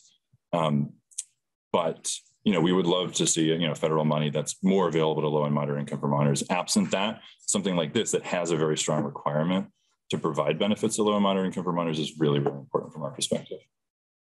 I guess I still don't understand how that money, which you're saying would really only be available to folks who have enough income to have taxes that can be offset. Um, how, how this bill allows them to make better use of that money. So this bill at its core is going to require the creation of new incentives in Vermont through the clean heat standard from the obligated parties, the fossil fuel importers, because there will be additional incentives in Vermont that are adequate to you know get enough of this activity done in Vermont in order to actually hit our requirements. With more Vermonters installing heat pumps, weatherizing their homes, and doing all the other things envisioned in this construct, more Vermonters will be able to take advantage of those tax credits. Essentially, more Vermonters doing those things means more of that money is going to flow into the state. If you look at um, you know what's been modeled as business as usual, like what happens if we don't do this versus the requirements in this bill through the Global Warming Solutions Act, and you add up all of the activity, the heat pumps and everything else that would need to happen because of that, you're looking at a couple hundred million dollars more in tax credits that would flow to Vermont businesses and families because of that activity. So essentially, it gets more in the door because it requires more activity, and there will be more incentives in Vermont. So I'm just I'm trying to look at it from the perspective of like a particular family you know, with a particular income that would qualify them to get tax credits. What I see, tell me if I'm wrong, what I'm sort of seeing, what I'm thinking or implying is that at least some of those taxpayers would not take advantage of the tax credits that are available to them, except for the additional incentives that are in this bill. That's going to push substantial large numbers, right, is what um, I think I'm hearing, to push large numbers of people from doing, from basically letting the, let those tax credits pass them by right. to saying, oh, if I can do get this tax credit and I can get this other piece of incentive, then I would be willing to make this investment. That's that's exactly right. That's very well put. Um, yeah, essentially, there will be families that look at the federal tax credits and other incentives currently av- available in Vermont and go, we can't quite make that work. But then with this additional incentive, the additional incentives created under this program, they'll look at it again and say, oh, actually, we, we can make that work now. And then they will be able to avail themselves of the federal tax credit in addition to the um, incentives provided through the clean heat standard. So yes, you articulated it very well. Representative Clifford. Thank you, Madam Chair. Thank you for your testimony. So say if someone uh, someone wanted to take advantage of the tax credit system, what's the avenue for that? How who what organization would you go through? You need to, Yeah, so essentially when you're installing um, anything like this, the installer is going to be familiar with that. They're going to let you know, hey, there's a federal tax credit for this. The tax credits are structured generally. I can't speak to every single one of them, but I know the residential ones are ones where you would have to, you know, purchase the equipment, get it installed, and then next year at tax time, um, you would say, hey, I installed this thing. Here's how much it costs, and you'd get 30% back up to the cap for the particular particular technology. It's just like uh, you know, for instance, if you buy an EV, there's a $7,500 tax credit. You file on your taxes next year, you said, hey, I bought this EV, here's what it is. And then you get $7,500 taken off of your taxes. It's the same thing, but just for different measures. The installer is obligated to give this information to the customer? There, I don't believe there's any federal requirement to inform people of the tax credits, but I would be very surprised if installers are not because it is makes it that much more likely that people will buy. Okay, thank you. That's what happened to me. Somebody didn't tell you about the tax credit or? No, they, they did because it was in their interest. Oh, yes. Because then I, yep. I, I, said, okay, I'll buy what you, I'll buy, what, I'll buy your boiler. All right, Representative Smith. Thank you. Uh, these incentives, people aren't going to know how much of an incentive they're going to get.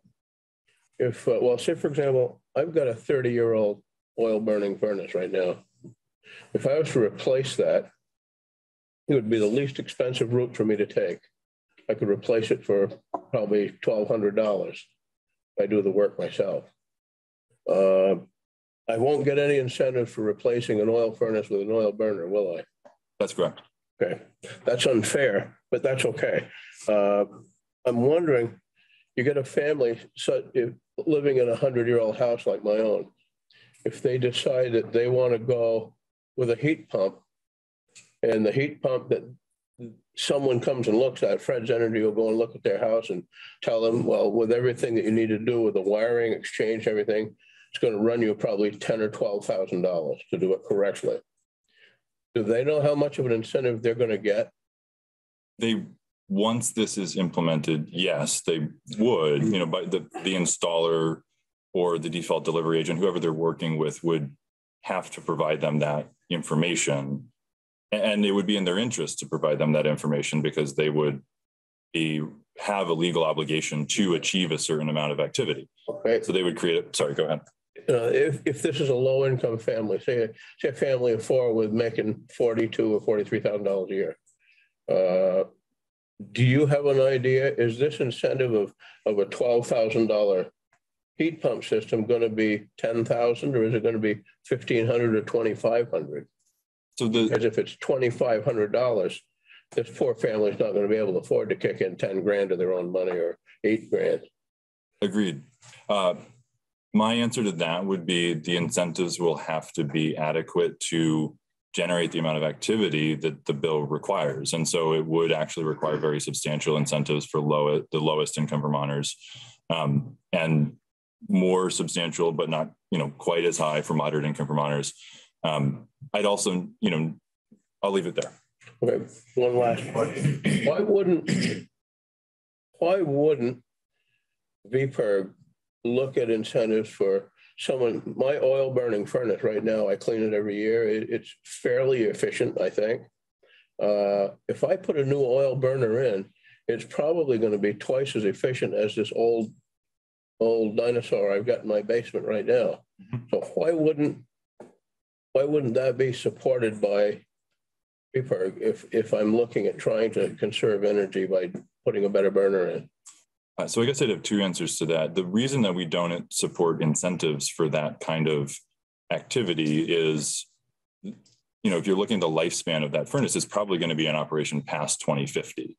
And as we have these requirements uh, in 2050, both from the standpoint of climate science and the pollution reductions we need to achieve and legal requirements as a state. From our perspective, it does not make sense for the state to actively encourage people to install equipment that we know will need to be phased out in order to meet those requirements. Now, that does not preclude anyone from doing that, as you say. Um, and I, you know, I do want to note one other thing. The sort of second answer for that is, if you have a furnace that is 20 or 30 years old, i.e., old enough for it to need a replacement, um, any new furnace is going to be dramatically more efficient than that. And the marginal efficiency over the sort of the energy standard versus the energy star level is relatively small. So if you get a new furnace, you're going to be cutting your energy use. What we would like to see is more incentives for you to have, say, a heat pump to supplement that so you can use that furnace less. Thank you. Thank you. Thanks again for your testimony. My pleasure. Thank you very much for the opportunity. Next, we have Anthony Iarrapino, Conservation Law Foundation. Good afternoon. And for the record, yes, Anthony Iarrapino from the Montpelier Advocacy Center of the Vermont uh, Conservation Law Foundation. Um, it's nice to follow Ben because he has basically covered a lot of the same ground as I cover. And I just want to call your attention to the fact that I have fully written comments um, that have been submitted to the record. So I'm going to be cutting back on a lot, and I would hope that uh, you can look at the written comments for the full extent of CLF's position on the record. Um, so, on behalf of um, its members, CLF has advocated across New England for uh, adoption and ongoing implementation of enforceable greenhouse gas reductions. And um, that includes uh, the Global Warming S- Solutions Act. I'm here today to urge that Vermont lawmakers take another important and meaningful step on the path toward lowering our greenhouse gas emissions and complying with our obligations under the Global Warming Solutions Act. Um, the pollution reduction deadlines in the Global Warming Solutions Act are not arbitrary. Um, some have said that, and I couldn't uh, disagree more. They are a rational and arguably long overdue response to the catastrophic signals that our climate is sending us as extreme weather in Vermont and the world over increases water pollution, disease, property damage, and economic disruption. The latest report of the world's leading climate scientists affirms that we must make dramatic greenhouse gas pollution cuts by the mid 2030s to stabilize the climate on, upon which our safety, our health, and our happiness ultimately depend. And I've cited to that uh, latest report in my um, testimony. You know, I was in the predecessor of this committee um, 17 years ago. That's the first time I came here to talk about climate change. And it was in the context of Lake Champlain and how our then existing cleanup plan failed to account for the fact that climate change was going to make pollution to the lake worse. And we needed to update that plan now because if we waited, it would cost us more money in the long run. Unfortunately, back then, it took uh, a long time for the legislature to get to that conclusion. Um, and more pollution flowed into the lake, and it ultimately cost more um, to address that pollution. So I'm really thinking to myself, sitting here today, how much easier and less expensive would this all have been if we started down the path that you're on today 17 years ago? And i really say that as a response to those people who say you need to wait. You can kick the can down the road even further. It's a mistake that we've made in our past and i hope it's one that we won't um, repeat. Uh, we, we just don't have time to lose the Affordable Heat Act is responsive to and has undergone substantial public process. You all, I don't need to tell you all that. You've been sitting here for a couple of weeks. I've been mostly um, listening on YouTube and appreciating your thoughtful questions and the wide variety of people that you've heard from. I know this is the second go around for the legislature with this bill. Now, while the need for climate action becomes more and more urgent each day, another response uh, to those who say we need more public process is to recognize that the Affordable Heat Act, as you're now considering it, reflects a measured and thoughtful approach to accelerating and codifying the ongoing transition toward cleaner, more price stable heating measures for our homes and businesses. You've got a significant phase in period of this bill. It won't take effect until 2026 at the earliest, following a subsequent legislative review and approval process. Um, immediate passage of the Affordable Heat Act will send an important signal to the marketplace, encouraging more Vermonters to join the climate friendly workforce of the future and allowing time to train those workers to hit the ground running 2016. Now, some of you may know that CLF's position on uh, a clean heat standard for Vermont has evolved since last year, and that's in large part because the legislative process has been genuinely responsive to some of the significant concerns we had with last year's bill. I'll just highlight those. Ben covered a lot of those, but chief among them is limiting and phasing down the use of biofuels that would not truly reduce greenhouse gas emissions and other environmental and public health harms. Um, expressly promoting effective pollution reducing strategies, weatherization, electrification, and ensuring that a meaningful percentage of those measures are installed in homes uh, for low and moderate uh, income Vermont households. And then strengthening greenhouse gas accounting to make sure that we're accurately tracking progress toward the pollution reduction requirements of the Global Warming Solutions Act. Um, can't stress enough that the new bill's declining cap on carbon intensity of biofuels eligible for clean heat credits is a central reason why CLF is now able to support the Affordable Heat Act. Uh, there's been a lot of work on life cycle in, uh, greenhouse gas accounting. I know you've heard from other experts on that topic. Um, and I can tell you that the language that has been inserted into this bill compared to uh, last session's clean heat standard uh, are really strong guardrails. Um, and if they are faithfully implemented as you've written them in the law by the PUC, I think we are going to see um, over time that only the cleanest uh, uh of alternative fuels that truly get us pollution reductions will be eligible for clean credits over the long term. Um, I know you heard this morning from um, folks who work in um, the uh, with with low income Vermonters and in the housing sector. Some of those folks I also work for um, in other facets of my practice. Um, and I just echo what Ben said about the importance of the equity measures that you've adopted this year. This is a much stronger bill in terms of addressing the needs of low and moderate income Vermonters. Um, you know, the reality is it's not just Vermonters with more financial need means who want to be able to keep their houses warm without contributing to the warming of the planet that uh, threatens their families.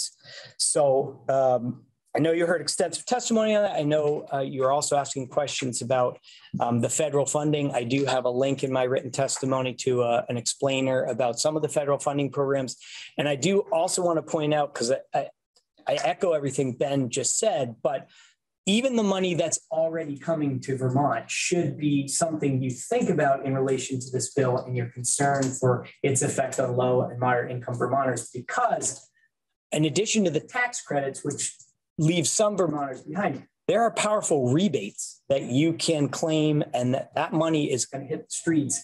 And that means that even if there are increases in the cost of fossil fuels as a result of um, passing the Affordable Heat Act, that federal money is going to, in the meantime, help a lot of Vermonters get off the price roller coaster and be less exposed to any price increases that come as a result of um, passing the Affordable Heat Act. But as currently drafted, S5 also includes an important relief valve that allows the public service for good cause, which includes unduly adverse impacts to low income Vermonters and to small businesses. But it includes the authority for the PUC, and I, I understand your you're thinking of extending the amount of time that the PUC can exercise this authority, but to basically say we're going to back off on some of our um, uh, uh, our credit requirements temporarily, as long as we can keep on track for the long term goals, to soften some of those transition um, uh, price issues if they should in fact occur. So we've been very sensitive and very thoughtful on that. We know that the federal funding is finite. We know it's going to taper off um, and that some of the, the activities uh, supported by that funding um, will taper off as the funding runs out. And so this funding cliff, it sends a, a very troubling signal into the marketplace, particularly for workforce uh, development and passing the Affordable Heat Act that says we're not going to take our foot well i shouldn't say foot off the gas. That's a bad bad pun in a climate change discussion but great pun. we're not going to back off on our commitment to things like weatherization and electrification and geothermal when the federal money runs out. We're going to follow through on this commitment. So if you're a Vermonter contemplating a career choice in the, the workforce of the future, rest assured that there will be plenty of work for you to do in the future. That's an important interplay in, in those funding sources. So, you know, the path to a more stable climate is a long and steep one passage of the Vermont Affordable Heat Act is going to keep us moving onward and upward.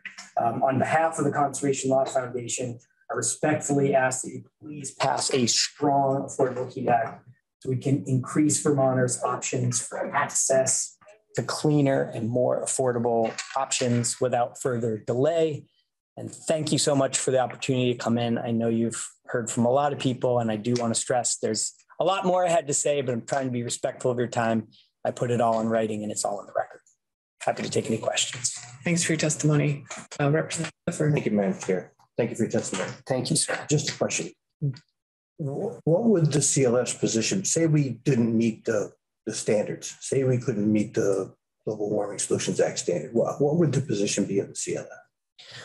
Well, I don't like to deal in hypotheticals because I hope that you will pass the Affordable Heat Act and that will reflect best efforts towards meeting those targets. And it's possible that even if you pass the Affordable Heat Act, but you don't take enough action in the other sectors, um, that CLF would, um, on behalf of its members, invoke the Global Warming Solutions Act and you know ask for action from the judicial process we keep all options on the table to promote public health, protect the environment, and preserve our, our communities.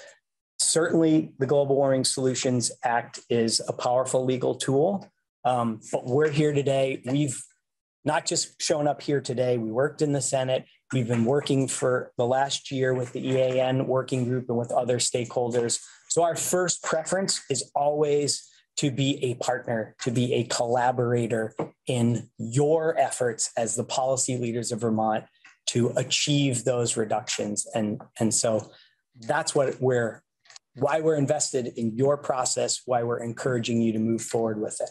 Thank you. Thank you for the question. Thanks for your testimony. Appreciate your time. Next up, we have Johanna Miller from VNRC. Good afternoon. I I hope you're not waning. I'm it's a long day and you guys are doing a lot. Um, but I'm very glad to be here with you today. I'm Johanna Miller. I lead the Energy and Climate Program at the Vermont Natural Resources Council. We're um, sure you've met many of my colleagues in the past. I have not had the privilege of being in your new and newly reconstituted committee, so it's great to be here. Um, so my work um, on the energy and climate program is informed by the work that I get to do at the local level, helping to coordinate the statewide network of town energy committees and the important work that they're doing in partnership with their communities.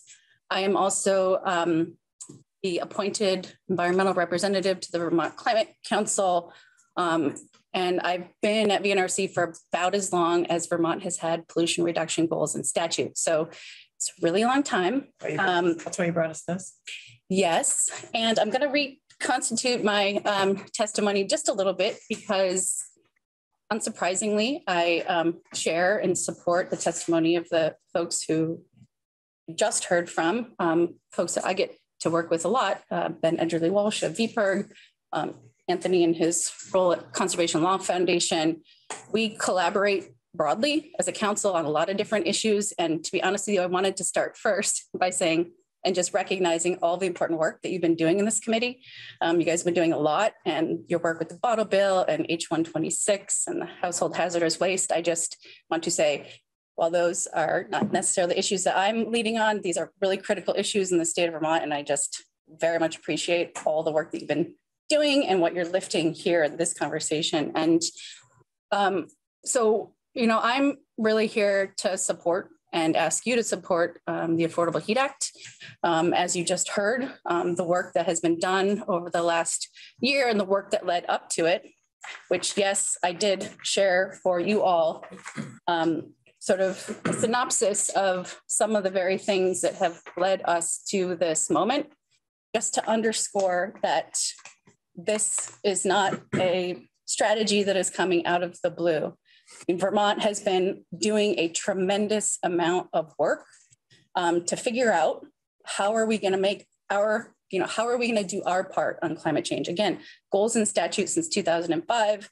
Um, that catalyzed a series of explorations, which I don't need to go through in terms of the list that you're seeing here, but we have had three climate councils. We now have a Vermont, you know, climate action office and a climate council that is operationalized in state government. I very much appreciate the work that this body has done to make that possible because we are in a predicament when it comes to climate change, and that has costly consequences not just for people's pocketbooks, um, especially in a state that imports every liquid drop of the stuff that is driving the crisis. Um, but I actually just want to underscore the importance of taking action because of the fact that it's not going to get harder. It's not going to get, or excuse me, easier. It's not going to get less costly. And it's really young people and future generations who are going to bear the burden of insufficient and ongoing inaction. And so, what you're talking about and looking at before you when it comes to S5 is the, again, result of almost two decades worth of work.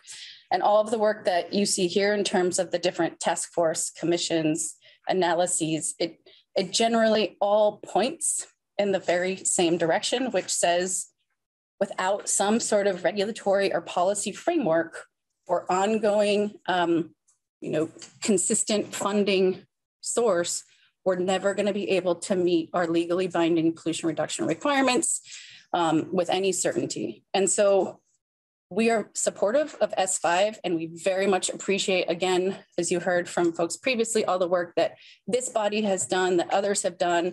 We have participated in processes to try and really balance a lot of very important considerations when you're talking about a new program that is designed to make certain pollution reduction process progress gradually over time in a cost-effective, equitable manner. And that is what S5 is designed to do.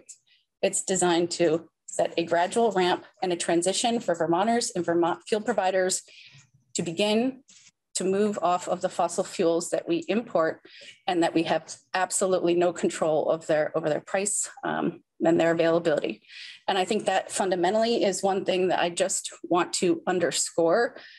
I mean, you heard from Anthony, you're, I'm sure, well aware. I mean, you're probably going to hear more. You've read the IP, the Intergovernmental Panel on Climate Change's latest report, I'm sure, or you've seen the headlines. They're terrifying. Their latest headliner is Act Now with Urgency, or it will be too late. Vermont's not going to solve the climate crisis alone, but we certainly have an obligation to do our part. Vermonters want us to do our part. This nation has, um, you know, we have much more of a responsibility because we've caused more of the problem than other you know persons and countries around the world. So we have an obligation to fundamentally do our part on the climate crisis. And it is also an economic opportunity because 75% of the dollars that we spend to stay warm from fossil fuels goes out of our state. Um, i know you've been hearing a lot uh, about the costs and the consequences of implementing this policy lots of different numbers out there, um, you know, and those are unverified.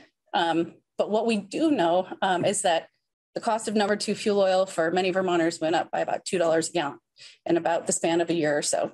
Um, we have absolutely no control over that. What we know and what you have heard, we all were surprised to learn that, you know, Saudi Arabia and Iraq are now ratcheting down on their oil production. I mean, that's going to, has already and will drive up energy prices.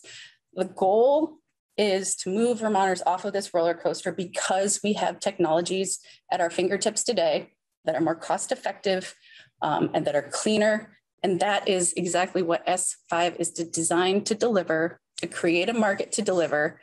And fundamentally, um, and I don't need to belabor the point because I'm sure you are all waning, but one thing I, I would say is that at this point, I fundamentally look at this bill as a market driver and critically, most importantly, besides the climate crisis, which keeps me awake at night, is very fundamentally essential to bringing everyone along in the transition. People who can afford to get off fossil fuels have or will.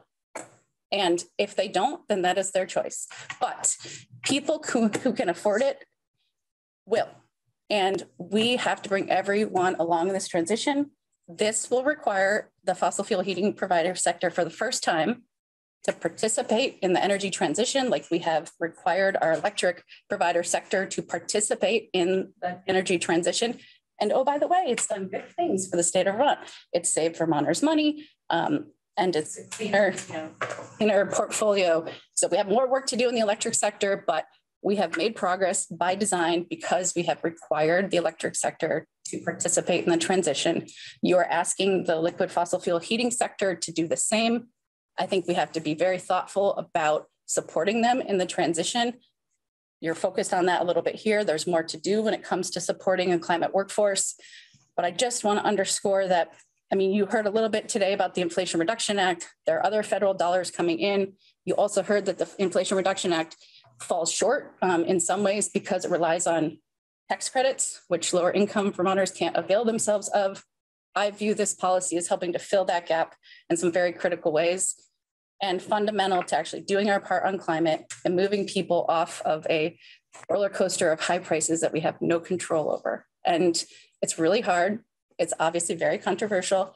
You're getting a lot of pressure. Um, this body has done hard things before. I don't necessarily envy you, but I, I agree that you've been incredibly thoughtful about the process, hearing a variety of perspectives. I very much looking for, are looking forward to, you know, staying tuned into your work, supporting you, doing more things. I see some improvements related to the equity provisions, particular in the latest version of the bill. I think that's very important. We have to make sure as we make this transition, which will happen. I mean, this transition is happening. It will happen. You've heard that from fuel providers.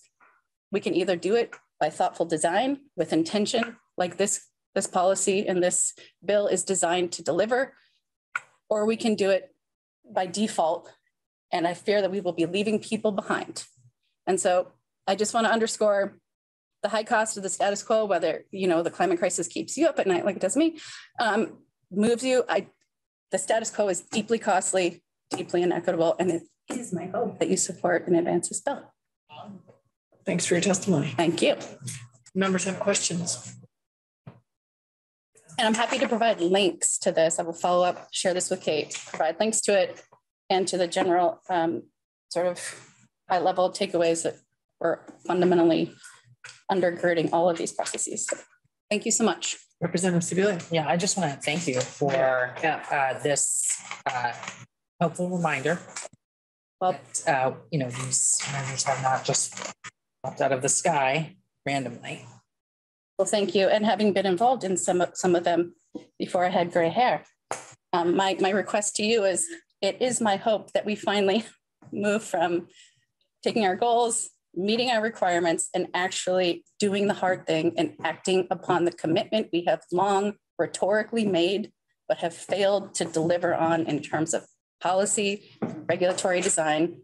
And this is a good, well balanced bill that I think we can work together to make better to help everyone in the transition. Thank you. Thanks. All right. Um, next up, Lauren Hierl from Vermont Conservation Voters. Oh, I will try to be brief. I know it's late. Um, but thank you so much for the opportunity to testify today in strong support of S5, the Affordable Heat Act. Uh, for the record, my name is Lauren Hierl, and I'm the Executive Director of Vermont Conservation Voters. And it's a pleasure to be back with the committee and just echo the gratitude for uh, all of the bills you've been working on and past really meaningful and important and great work. And um, the Affordable Heat Act, um, like some of the other issues, is was one that was identified by the environmental community, um, the 19 partner organizations that we worked with to develop the key priorities that we were um, expecting, hoping to see action on this year that are critically important to Vermont's environment and health. And the Affordable Heat Act was the number one thing listed on our agenda this year uh, as the most meaningful action. And, you know, as you heard repeatedly, it's because this is the most significant climate action that the state is contemplating right now. It's among the most impactful ever considered by the legislature in terms of really moving us to um, a cleaner future. And we worked hard to support and um, the enactment and implementation of the Global Warming Solutions Act. And of course, this was the cornerstone recommendation uh, in the thermal sector. And I really want to applaud the legislature for the meaningful progress um, of evolving the bill from last year's version. I think, um, you know, you've been hearing this afternoon, so I don't need to belabor the points, but again, the provisions around um, making sure that we are focused on helping those most harmed by the current system and making the transition, um, including low and moderate income Vermonters, including renters and so on. Uh, that's really important work that's been done to improve the bill. And it was really important to have the mechanisms in the bill to ensure that we're not transitioning from one bad fuel option to another bad fuel option. And I think that there's really good provisions in here to do that. I know you've been hearing from some folks, we should go further, we should advance certain technologies, this and that. Um, I think the current language reflects a feasible, responsible, and scientifically based approach to do that over time. Um, and I think that we in the environmental community will need to continue watchdogging this program to make sure that it really is leading to the technologies that we want to see and that we're not creating, you know, problems down the road. And I, you know, I'm sure we will all be watching this closely and ensuring that, you know, we're really getting people to cleaner solutions that are really driving down uh, climate pollution and not creating other environmental problems. So um, I'm sure you'll be seeing that. Um, and with a provision added in the Senate to require the legislative approval, I think we'll have a chance before the program's implemented, as you've heard repeatedly, to make sure that in its initial design, that it really is achieving these dual goals of helping everyone come along in the transition and also making sure that we're transitioning to truly clean uh, solutions that are going to do our part on climate and help Vermonters. Um, and I know we're all concerned about heating costs. Um, and I believe the point of this bill is to make sure, uh, you know, as you've been hearing, that every Vermonter can, in fact, benefit from transitioning to cleaner and more affordable alternatives. And you know, we know not acting is costly and harmful. And you know, you've been hearing about the the headlines we're seeing about um, you know the world in store if we don't act. And you know, my 11 and 8 year old are always front of mind. You know, what is the world going to be like in 20, 30, 50 years? And you know, I know I want to be able to say we did everything we could. We did our part. You know, we stepped up.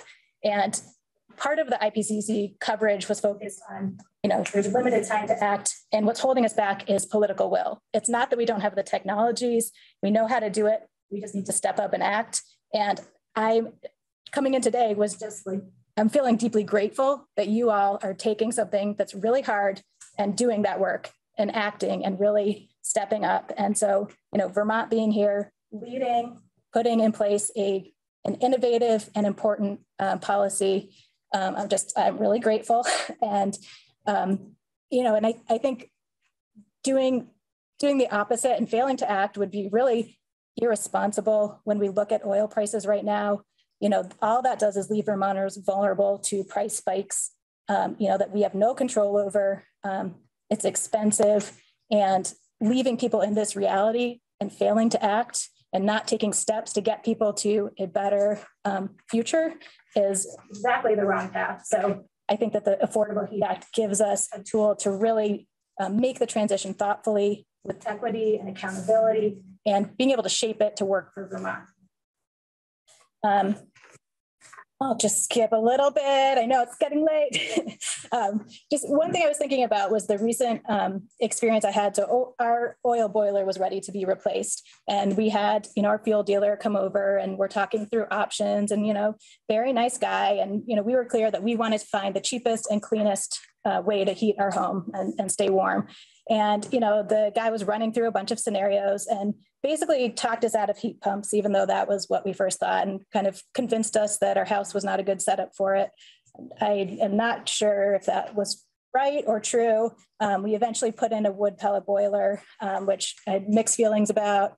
Um, you know, the, the, they were very clear about the incentives that were available from the federal government for those. It was like a 30% federal incentive for that.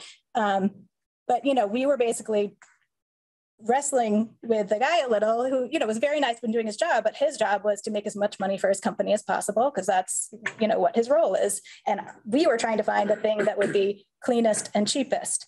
And i think that what this bill fundamentally does is you know instead we can imagine where the fuel dealer is coming to your house and you're working together because we both have the shared goal of finding the cleanest and cheapest alternative. And so you're getting the advice um, you're getting better incentives and you're able to transition to um, you know something that's going to keep you warm which is what we want and save you money over time. Um, you know in my work i talk with vermonters all over the state. Um, i do a lot of work with voters. Um, you know climate change was a top issue in this past election, as it has been for a number of years. Um, there was a lot of people running on climate action platforms um, those people overwhelmingly won their races. The people who were literally running on a platform of climate change is too expensive. We can't we can't afford to act on climate. Um, those people overwhelmingly lost their races. It was not something that um, Vermonters were compelled by. Um, you know, I think there's very much as we all are feeling and working on is how do you bring everyone along? How do you not leave people behind as we make the transition? And um, I think that's what this program is really trying to do. Um, but just not doing our part and stepping aside. You know, voters consistently are calling for climate action. Uh, they want to see people step up. And again, I'm just really grateful for your time and attention, your leadership on this bill, on addressing the climate crisis, the biodiversity crisis, and all the work that you all are doing. And uh, I would be happy to answer any questions. Thank you for your testimony. Representative Logan. Thanks. Um, So um, carbon intensity scores. Um, just want to make sure that we hear from some of the folks who have been working so hard on this bill for years, um, where carbon intensity scoring is concerned and the life cycle emissions analysis of um, and the schedule for, for fuels is concerned. Um, do you believe that um, the way that this bill is um, currently drafted in those sections is sufficiently protective to ensure that we don't develop um, an overly large market for biofuels um, that are sourced from places that we might consider um, environmentally or even, um, you know, justice de detrimental locations. Yeah, I think that the way it's structured with the ratcheting down carbon intensity over time in part, you're sending that market signal. So if you're a Vermont company, then making big capital investments in something that you know in a few years you're not going to be able to use anymore makes no sense. So a lot of the conversations that I've had with, um, you know, colleagues, allies who are really concerned about what does this transition look like and making sure we don't somehow lock in or, um, you know, unfortunately incentivize fuels that have really damaging effects on the environment, um, just like fossil fuels do. And you know, I think that the structure does does the job of giving time for the transition, but making clear that we do not want to be moving to damaging alternatives. Um, you know, and some of these terrible biofuels that are devastating parts of the world. And so I think it's sending the right market signal by being clear that that's not the future of what Vermont heating and putting in technology is not a good investment because it could become a stranded asset. Um, so I think it accomplishes it. You know, again, I think we'll be watching closely and making sure and how is this really playing out and how how's everything incentivized and you know there's always you know you can always like look at it and make sure it's really doing what we think. But I think that the structure um, does the job of sending that signal, like paired with the, all the considerations that the PUC needs to look at with, you know, the um, the other environmental impacts. I think having both of those together give me comfort that we're going to transition to the right kinds of technologies that are really cleaner over the long run. Thank you. Other questions? Thank you for your testimony. Thank you so much. A long day. Um, all right. Yeah. Oh, shit. I'm out. All right. Um, so Avram, we're still in, in committee and um, thanks for your testimony. Um, we are on tomorrow after the floor. It's listed as 15 minutes after the floor with Ellen on this, and then we're going to have a kind of a hearing on um, the trapping rule that the Fish and Wildlife Board is considering. Um, I believe they considered it this week. Um, we'll get an update on that in the afternoon. So we'll see you all after the floor tomorrow.